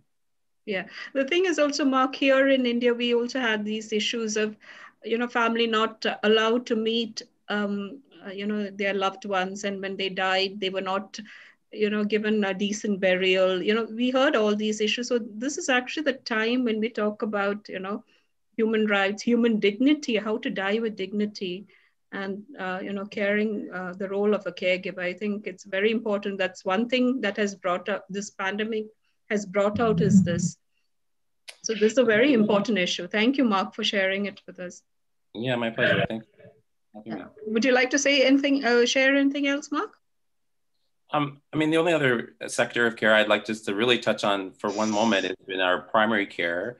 Um, so the actual use of technology has really um, advanced the and empowered patients in accessing care. Many patient advocacy groups had wanted virtual care for a long, long time, and almost overnight, the government funded this for primary care providers to do and since then it's been like a light switch has gone on and I, I, can't see us ever going back to a time where we don't have virtual care for primary care and i think that's a huge win uh, for patients and their families in accessing care. When you say virtual care, what do you mean, Mark? Uh, so being able to access your provider through like this sort of technology, uh, through webinars, but also even uh, even just using phone. I mean, it doesn't have to be extremely a, a laptop or yeah. It just means yeah, you can access your primary care provider without having to be there in person. Um, okay, so and, is this a term that you use? Uh, virtual care is that an accepted term that you use? Yeah, we say that's virtual. that's what we say here. Yeah. Oh, that's a nice word. Thank you, thank you, Mark. Thank you. Yeah. Thank you, Mark. Can I ask, uh, may I ask uh, Captain uh, Ritu? Okay, I'm I'm audible. Yeah, Ritu, yes, Ritu yeah. thank you for coming in. You're yeah, also yeah. Uh, a dentist. Are you still working with the army? No, I have left army and I'm also not working as a dentist. I'm more of a cancer warrior and I travel across the country driving a lot, uh, conducting cancer awareness workshop and trying to bridge the uh, common people to knowledge, resources, and expertise wherever it falls into. Yeah, so uh, you have your own uh, story. I mean, that we can write a book on, uh, right, uh, Ritu? Yeah. So, uh, uh, can you tell us your experience with this COVID pan, 19 pandemic? How was your experience, and um, do you have advice for you know other people who are struggling with cancer and access to care? Yeah. So, uh, firstly, thank you so much for getting me on the panel, and it was uh, I was delighted to listen to everybody who have spoken till now. Most of the points have been covered. Uh, what I found, uh, like uh, mostly, uh, I don't know. Sometimes I feel India is a developed country, and sometimes I feel we are still developing in many aspects. as far as health is concerned, um, yes, uh, there was a lot of problem because we had uh, almost five to six months of lockdown period and uh, patients uh, had faced uh, like those who were suspected could not go for investigations in time and those who were um, diagnosed could not reach uh, for treatment in time. And medicines i mean those who needed medicine who were treated and you know needed some backup medicine or like a stock of medicine also couldn't reach um, uh, yes, there was fear of uh, COVID on either side of the parties, including the this thing. But there were a lot of logistic problems which came in. Uh, apart from the hospitals being converted into uh, most of the hospitals being converted into COVID hospitals, and uh, so that's a totally different thing, which was which really went out of hands in between. Uh, but the transportation was one of the major, major problem uh, because uh, as we all know that we don't have cancer hospitals and I'm speaking specifically for cancer.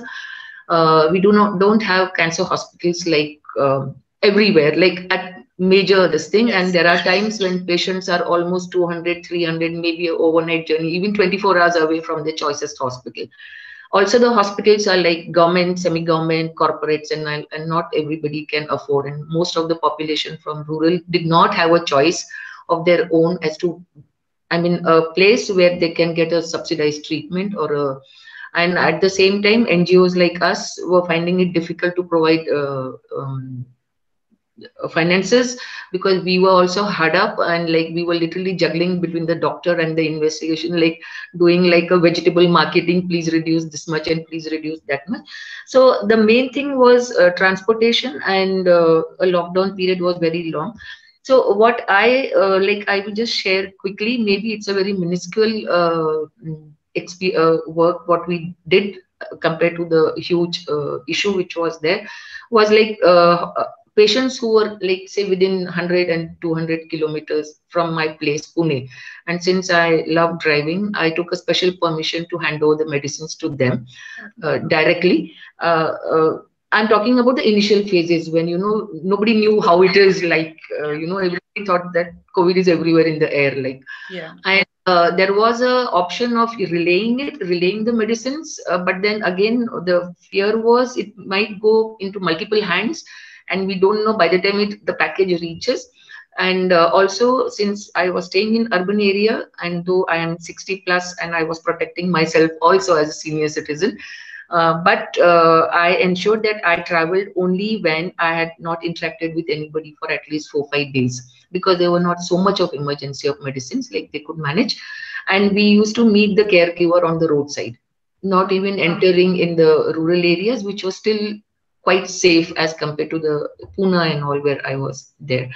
Then uh, second point was um, a lot of us we talk about telemedicine and a lot of us we talk about uh, digitization. But as we are aware that not everybody has a smartphone uh, and um, so that was becoming a huge um, issue. Like if a patient is say about four hours away from the hospital and but we are consulting someone from uh, mumbai and that mumbai doctor will uh, will try and um, connect us with a doctor nearest to it even if it's like a corporate hospital and uh, depending again on the covid situation the patient had to make specific uh, you know special vehicle like a taxi or you know request someone to you know fill petrol and fuel pumps were also closed for Close. many times that issues came up a lot and uh, like uh, yes as a, a, patient advocate it used to hit us badly because we used to handheld the patient till he reaches the doctor or the hospital. And even cases which had hip fractures and metastatic and all traveling for us and all and it was really really pathetic.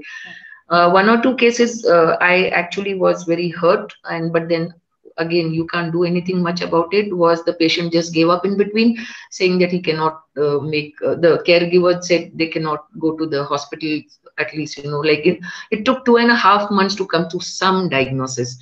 And you know doing a blood test somewhere else going the uh, doing some um, investigation at a second place or a third place and again taking treatment at a fourth place and that uh, going through different hospitals was again a risk uh, you know because you were getting more and more exposed. Some patients also slept uh, um, the caregivers slept on the roadside under the tree uh, that was in the month of summers which was also pathetic. But uh, like taking this forward what i feel is now that we already have a lot of stories and there are like millions of stories you know every story is like uh, real life stories. So what can we do further um, yes. you know, in a continuation which is still going on and if again another wave comes and things or another pandemic comes is uh, is the uh, I don't know how to do it in India, though awareness is, I mean, we are trying all that, but how do we connect uh, centrally uh, the doctors, like the providers, and the people who need um, care. care? So that is one major thing, considering uh, all said and done, uh, because I have traveled extensively, extensively three, means almost three lakhs kilometers in last about eight, nine years in nooks and corners of India. Um, the phones are not everywhere yeah. and definitely the smartphones are not everywhere yeah that's true but, uh, Ritu, you're doing such a marvelous work in spite of all the difficulties. I just, I have a personal story that my a very good friend who's also a doctor and she had um, ovarian tumor, which she kept it for a long time during the, uh, because of the lockdown. And by time she came, by time she came to the hospital, it was like so huge uh, that to take it, the surgeons had problems even taking out that ovarian tumor. So people like this, you know, they've kept it for a long time. Some have, you know, um, then uh, like you said, they have given up, and they yes. don't want to, you know, uh, uh, uh, get treatment anymore. So my question is, how did you get the um, chemotherapy or the the medications for the patients? Because all the pharmacies were closed, and you know those kind of things how did you get the medicines for them? Uh, we tried to, uh, some of the dealers I knew and some of the um, pharma companies we knew. Actually, luckily, uh, in COVID times, almost all the pharma uh, dealers and all were functioning. Okay. Uh, only thing was the major problem was the funding, the money, and the extra expenses which were coming due to transportation. And of course, um, hospital like you cannot blame them also because if one person in one department used to fall sick or was suspected then the, the system, system collapses yeah almost like 14 days so we had cases which had gone beyond and we had cases who even we could not help beyond certain limit. And we also had uh, as i say it's always a sweet and sour experience in uh, our type of job that where an estimate has been given by a hospital and for no reason the hospital just hiked it up more than two times. And the patient we couldn't provide more than that. And the patient just said that's it. I'm not taking my uh, the caregiver said i'm not taking my person any, anywhere and then there our hands get tied tied up because we can only reach as a patient advocate to a certain level. We can handle the patient to a certain level. Yeah. And uh, medicines were of course uh, expensive. Uh, i think the major problem came in india because the public transports were not open. Yes yes that's true. That's true. And uh, not another thing what i have seen is a hospital which is a full-fledged cancer hospital still had a uh, still has like choices because uh, most of them i don't think so were converted into like covid hospital. But uh, and such hospitals are again not uh, everywhere. I mean they're very less. But the multi-specialty hospitals which were converted into covid at least in the first six months seven months eight months uh, they uh, the patients suffered there a lot because uh, they could not reach the cancer full-fledged cancer hospitals. cancer, yeah. Yeah. Thank you very much uh, dr ritu for sharing your experiences um, can Thank i you. ask uh, Dr. Al- Al- Alessandra is there? Dr. Alessandra? Um, yeah. Do you want to Dr. unmute Alessandra yourself? Mm. is Hi. From, uh, from Brazil. Yes, I'm I'm a lawyer in Brazil for a not government medical association in the state of Minas Gerais, the which seeks guarantee the rights and patients and doctors in a structured private and public system healthcare. Uh, Alessandra, what was the what was your experience as a patient advocate in Brazil? Uh, what were the problems that you faced, and uh, did you have any success? Uh, you know, any success stories uh, during this pandemic? Right now, we have a, a big problem here in the state because the the government decides suspend all the considered elect surgeries except the cardiac and oncological is in a right but in both system in a private or public system there this is suspension because we have um, a large cases in in covid patients because we have the no no issues and the the people do not respect the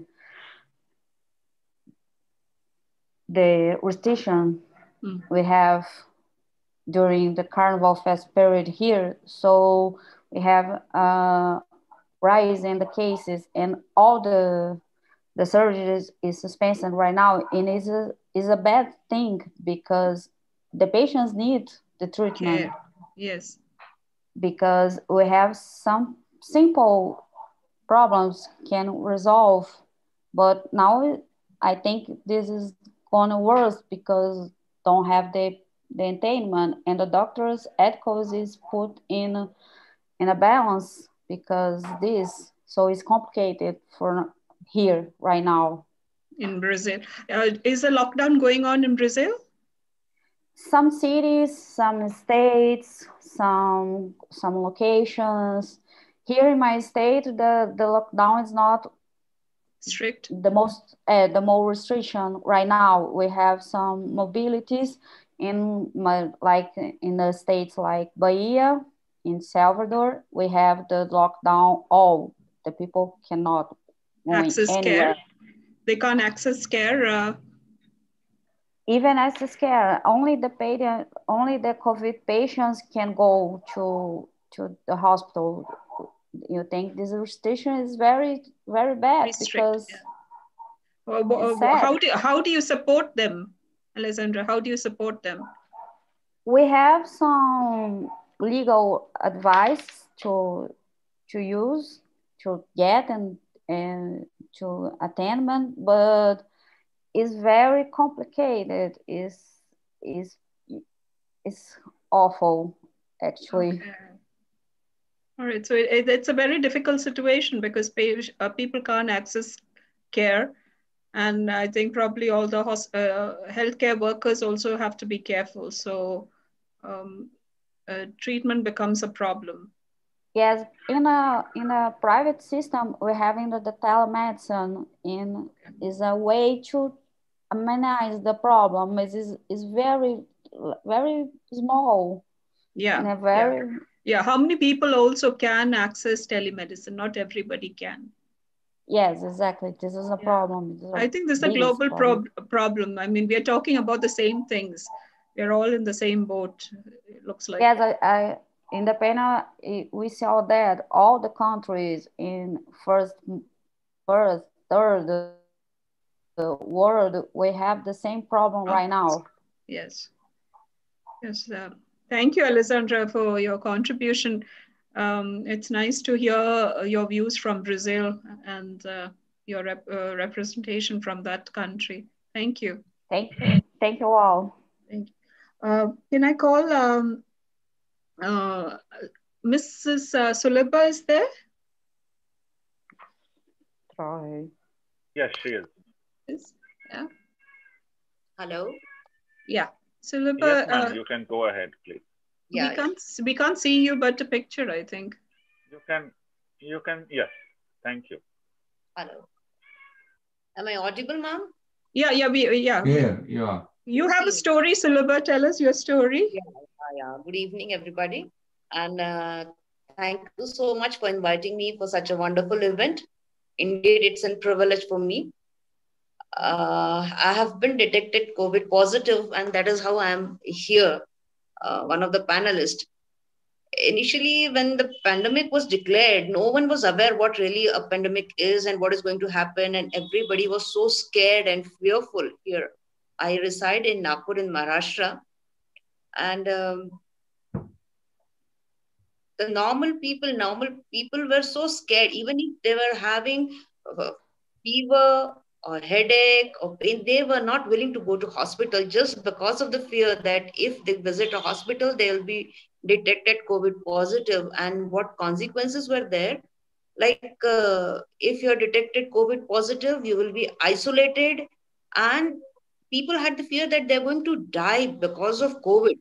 And once you die, you will be wrapped in a polythene, uh, this, and you will be just they, they, will there will be no one even to cremate you. That was the situation. It was a horrible situation. horrible situation. yeah.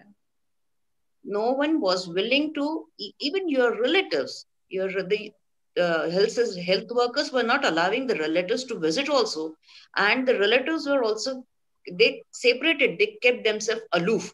So yes. it was a very very horrible situation. Nobody was very sure what to do, what to touch, what to wear, whether to really breathe or not, what is harmful.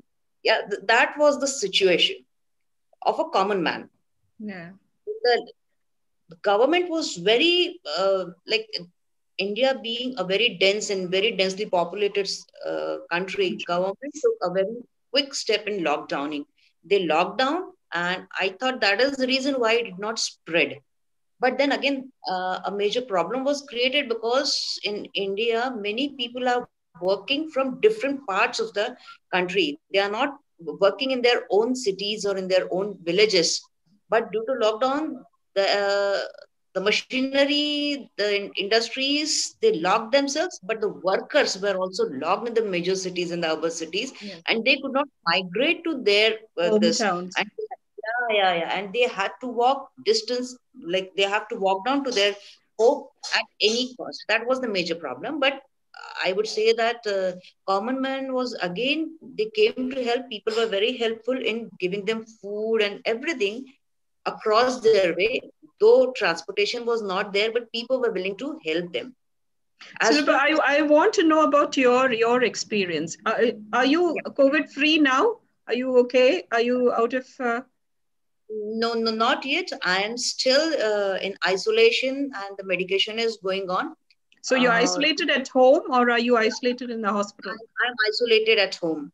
Okay. I'm isolated at home because the doctor said that the infection is not so much that you don't require hospitalization. You need to isolate at home. So I'm home quarantine. I'm taking my medicines, still under medication. I need to isolate myself for 15 more days but here also, when you are home isolated, you have to ensure that you don't touch anybody who, who are around you. You are not supposed to, you have to be like untouchable if at all you want to protect your. Yeah, because uh, your family, your family members also may be scared, right? Yeah, yeah, yeah. So if at all you want to protect your near and dear ones, you have to keep aloof. You have to detach yourself. Yeah. All right. But are, are you feeling well? Are you okay? yeah, I'm okay. I'm feeling well. And the medicines that I've been giving are doing excellent. Okay. So, uh, yeah. because see, for uh, people like who who are well-to-do, probably it is not a very difficult issue. But you know, the common man, the poor man, for them it becomes very very difficult because they can't. Uh, first and foremost, there's no work, there's no money. Uh, uh, jobs are very scarce, you know, very scarce now. So the suffering is more at a you know a low at the low uh, socioeconomic uh, uh, levels. Emotionally, all all levels suffer. The emotional yeah. problems are the same, but I think the brunt has been faced by the rural and the low socioeconomic uh, true, people true. in India. Yeah, very. Yeah. Thank you so much, Sulabha, for sharing your experience. Thank you, Thank you so much. Yeah. Uh, Faith, uh, Ms. Faith, I, I, kept you purposely for the last because you are a patient uh, uh, uh, advocate and uh, you advocate for equality and human rights. Especially, you, your work is more on, if I'm not mistaken, on sickle cell, correct, and thalassemia. Yeah. Yes. Yeah, that's correct. Yeah. So um, you are going to tell us about the problems that um, these patients had in um, accessing care, especially because it is a um, it is a genetic condition which is uh, you know uh, they need treatment lifelong. So they would have faced, uh, I'm, I'm, sure there are many other conditions, but this is what you're specialized in. So tell us the problems that uh, as an advocate, uh, how could you help them and, um, you know, what were their problems?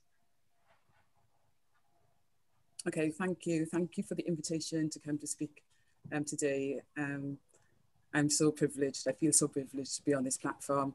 Can I just give you a little bit of background about the ethnicity uh, in Wales? Uh, Wales is one of the least ethnically diverse part of the UK. Um, um, in Wales is 96% uh, of the population is white. Um, and the other, and um, over half the ethnic minority population in Wales is Asian um, or Asian British is 2.3%. Um, the largest group is Indian, 0.6%, uh, followed by Chinese and Bangladesh. And then the Black and British group makes up to 0.6% of the population. Um, if I talk a little bit about personally how was infected me, the COVID, uh, my mum has got um, dementia. Okay. Um, so I wasn't able to see my mum, um, only through um, virtual. And in August, she was on an end of life care pathway. Oh. Um, thankfully, because the hospital operates from a person centered care, that um, our family was able to go in to see her. Um, my mum is such a strong character. She says she's not ready to go yet. Um, although she lost her, um, uh, um, able to communicate um, months and months ago, six months prior COVID. When we went in to see her, she, she started speaking again. And thankfully, my mum is still with us. And and survived COVID. A couple of weeks ago, she contracted COVID and she's still uh, fighting. Um, with regarding sickle cell and thalassemia, um, during COVID, um, most of the families had to stop working, so there was no income coming in at home. This actually impacted greatly on uh, the families because there was no money and the lower socioeconomic yeah. economical um, backgrounds. So with funding from, um, we seek funding and was able to deliver food parcels um, to some families, 13 families altogether, I delivered food parcels. Um, while doing that, I was able to, um, to see how um, marginalized and isolated they are within, in, within their communities, um, within the communities, uh, um, working class white areas. And they were the only black families in that area. There was no access to public transport okay. or, very, or very difficult um, access to public transport. Uh, one family um, had to take their child into hospital um, for uh, blood, uh, a blood exchange. And they, they were on public transport for four hours. Okay. Um, two little children, 10 year old, and the, and the boy is uh, very young. Um, the, the, parent was absolutely frightened because when the first lockdown during COVID, everybody was so scared about how to how they were to um, about the virus. They didn't know how they was going to contract it. Um, so the, the, parents were absolutely uh, petrified. Um, I was the only contact that the families had seen um, because they were they were so frightened regarding COVID that they didn't leave their front doors. So I was able to deliver parcels, and I was the only outside person that they were able they were seeing. So it was almost like um, giving counselling. I've got a bit of a counselling background um, at the doorstep, um, two meters apart, um, seeing parents break down, um, frightened about their child, um, thinking would their child go into a crisis, no money coming into the household, English as a second language. some families have got no recourse to public funds. And you probably, uh, Faith, probably you wouldn't have got blood for transfusion either. Yes, there were there were bloods in the hospital. Yeah, yeah. in Cardiff, um, we've just got an, a, a, recently commissioned service by the Welsh Health Specialist Service Committee. Um, um, got a service for um, sickle cell disorder, thalassemia disorders, and other rare conditions. And we no, and but uh, was it wasn't there a shortage of blood during the lockdown? No, no, okay. Not, so not in Wales. Have, no, we didn't have, we didn't experience um, that difficulty. Okay. Um, no, we didn't. The families didn't report back to me that. Because I'm trying to, I'm trying to think about you know patients with thalassemia and sickle cell anemia here in India, where they're dependent on transfusions, and usually it is a donor, and this lockdown actually probably wouldn't have you know um, would have uh, blocked all the donors from coming and giving blood. So I'm surprised that Wales had a stock of uh, blood for transfusion. Um, and when the first lockdown, um, it, uh, contact with the hospital was challenging.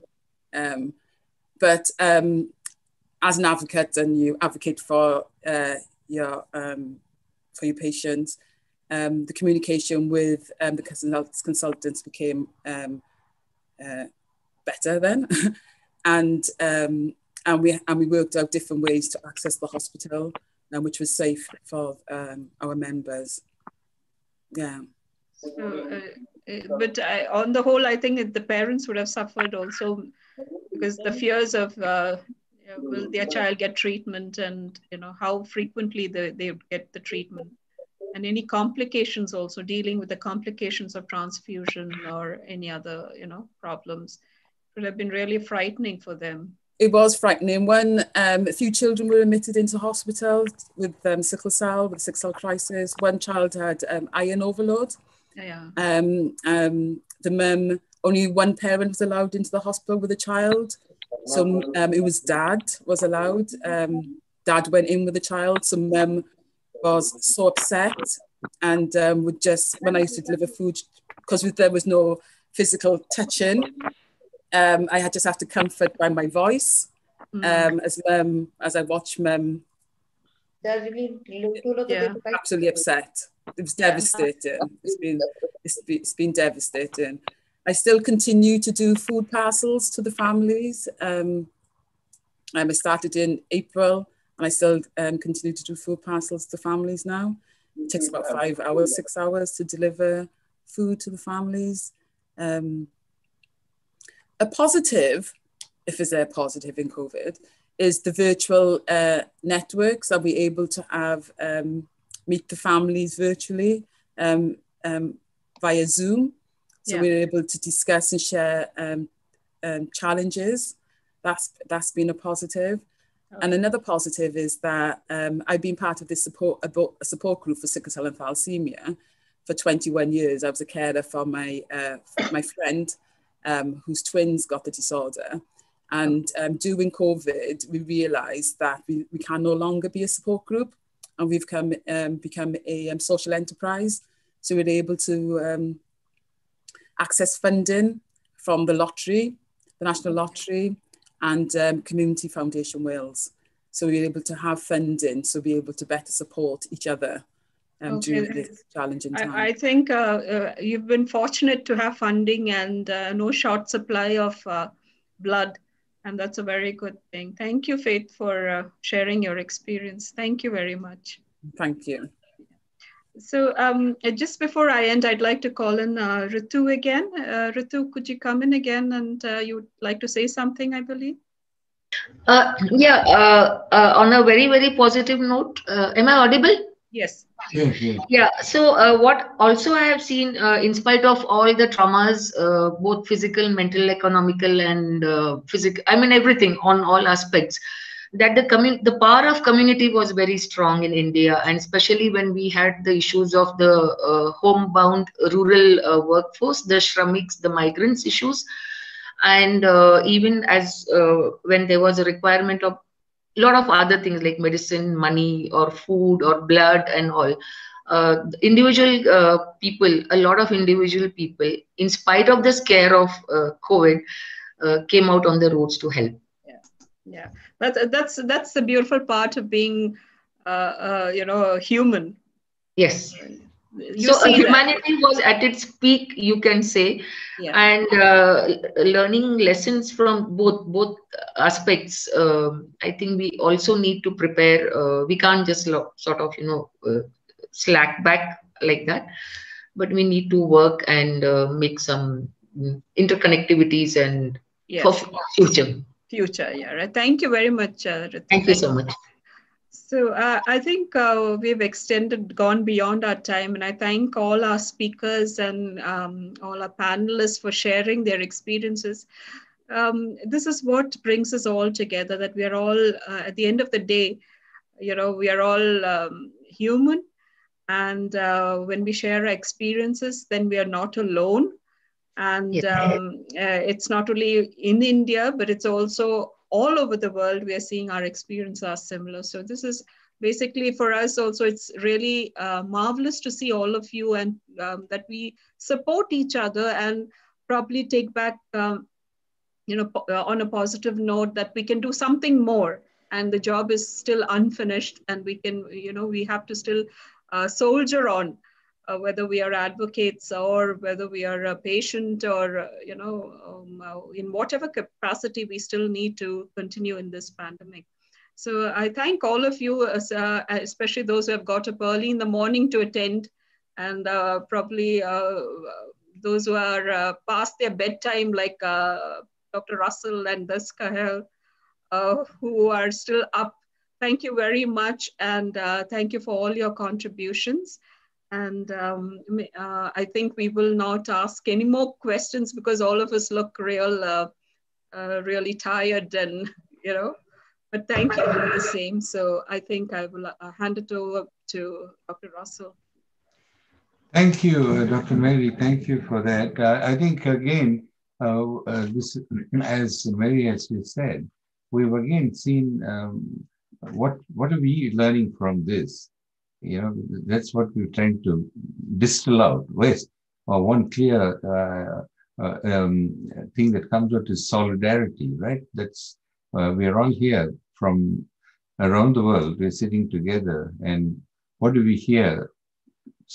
We see champions there. We see people in, in, in these uh, uh, terrible times. They're still uh, giving hope. They're still doing things and I think uh, it's great. Uh, we, but more importantly, I think, uh, as Dr. Mary said, we are doing this. We brought um, all of our different um, uh, colleagues from around the world in different disciplines together. But one of the things we should be doing is to start thinking. where we are experiencing something that probably in a, in a lifetime for many, no one has seen this. And so we need to be able to distill so that this can be uh, a learning experience for not just pandemics, but an epidemic or, and so forth, understanding. And we, we have with the, with the various, with the pharmacy group, they've come out uh, from our, uh, from this uh, expert guidelines. The nursing have come out with some ex, ex, expert, they published it, but just from the chat, the, the, um, um, the, the webinar uh, coming together, um, the, similarly, uh, the physiotherapists are on the way of uh, putting out expert uh, guidelines and so forth. So I think this will be a great uh, opportunity, and uh, we should um, um, take all what we've learned here. This is very important because um, this is from the patient, the advocate, and very importantly, we've all focused on COVID. COVID, uh, for the last one year or so. And now we're learning from uh, Vicky, from others uh, who what what they're going through for the non-COVID patients who you know uh, are, are also needing care, needing help, needing uh, and Josie and others have spoken about what has happened to them, and I think that we should be here, um, taking all what we've learned and probably preparing all this. So with that, coming together in solidarity, let me once again thank uh, our uh, very distinguished first speakers, uh, Dr. Um, uh, uh, Professor Vivian um, uh, our Jessner and Dr. Jessner, and of course, Dr. Nancy Berlinger, who um, for the excellent setting the scene with those presentations, and then the wonderful um, panel, very distinguished panel from uh, Dr. Uh, um, uh, from South Africa, Dr. Alexander from Brazil, yes, Dr. Faye and Ms. Faith uh, Walker from United Kingdom, J Josie uh, from Hong Kong, uh, Mark Weir from Canada, and of course, Dr. Captain Ritu from India and our patient uh, corona, um, um, representation. yeah, representative from there. Uh, so uh, that is Dr. Sulabha Willis Patel. Mm -hmm. Yeah, Dr. Sulabha, Maitis Sulabha. Thank you all so much for joining us today. We want, uh, we appreciate this and we will be continuing with yes. our, uh, our, web, our webinars. I think there's one, I think that's going to come up, which will be another interesting I think we should ask uh, Nancy to think about it. This is on miscommunication, uh, conspiracy, and vaccine resistance. Is that right? Someone has, one of our colleagues from uh, UK, uh, from Europe has done a study on eight countries looking at this area. So we're going to take this around the world in in in uh, probably the 7th of March, I think, will be the day that uh, we'll be looking at uh, the the, the place, the role of miscommunication and conspiracy and vaccine resistance. And look at how it goes around the world. We also are going to have the dental fraternity. Our colleagues, they've had two and they're going to have the third one, I think, in two weeks from now. And then, of course, as Mary said, we also have the obstetricians and gynecologists who want to talk about bring together what they've been through. And so that's what we're going to be doing. So thank you all very much, and uh, thank you, um, uh, uh, uh Diz. We, we're both. It's almost two o'clock in Melbourne. We're actually the next day, so we'll, uh, we we moved to the next day uh, and, and and lift you back on Sunday. Diz and myself and some others have moved to Monday. Thank you all once again. Thank you. yes, stay safe, stay well, and to meet Bye -bye. again. Okay, bye bye. Bye bye. Thank you so much. Thank you so much.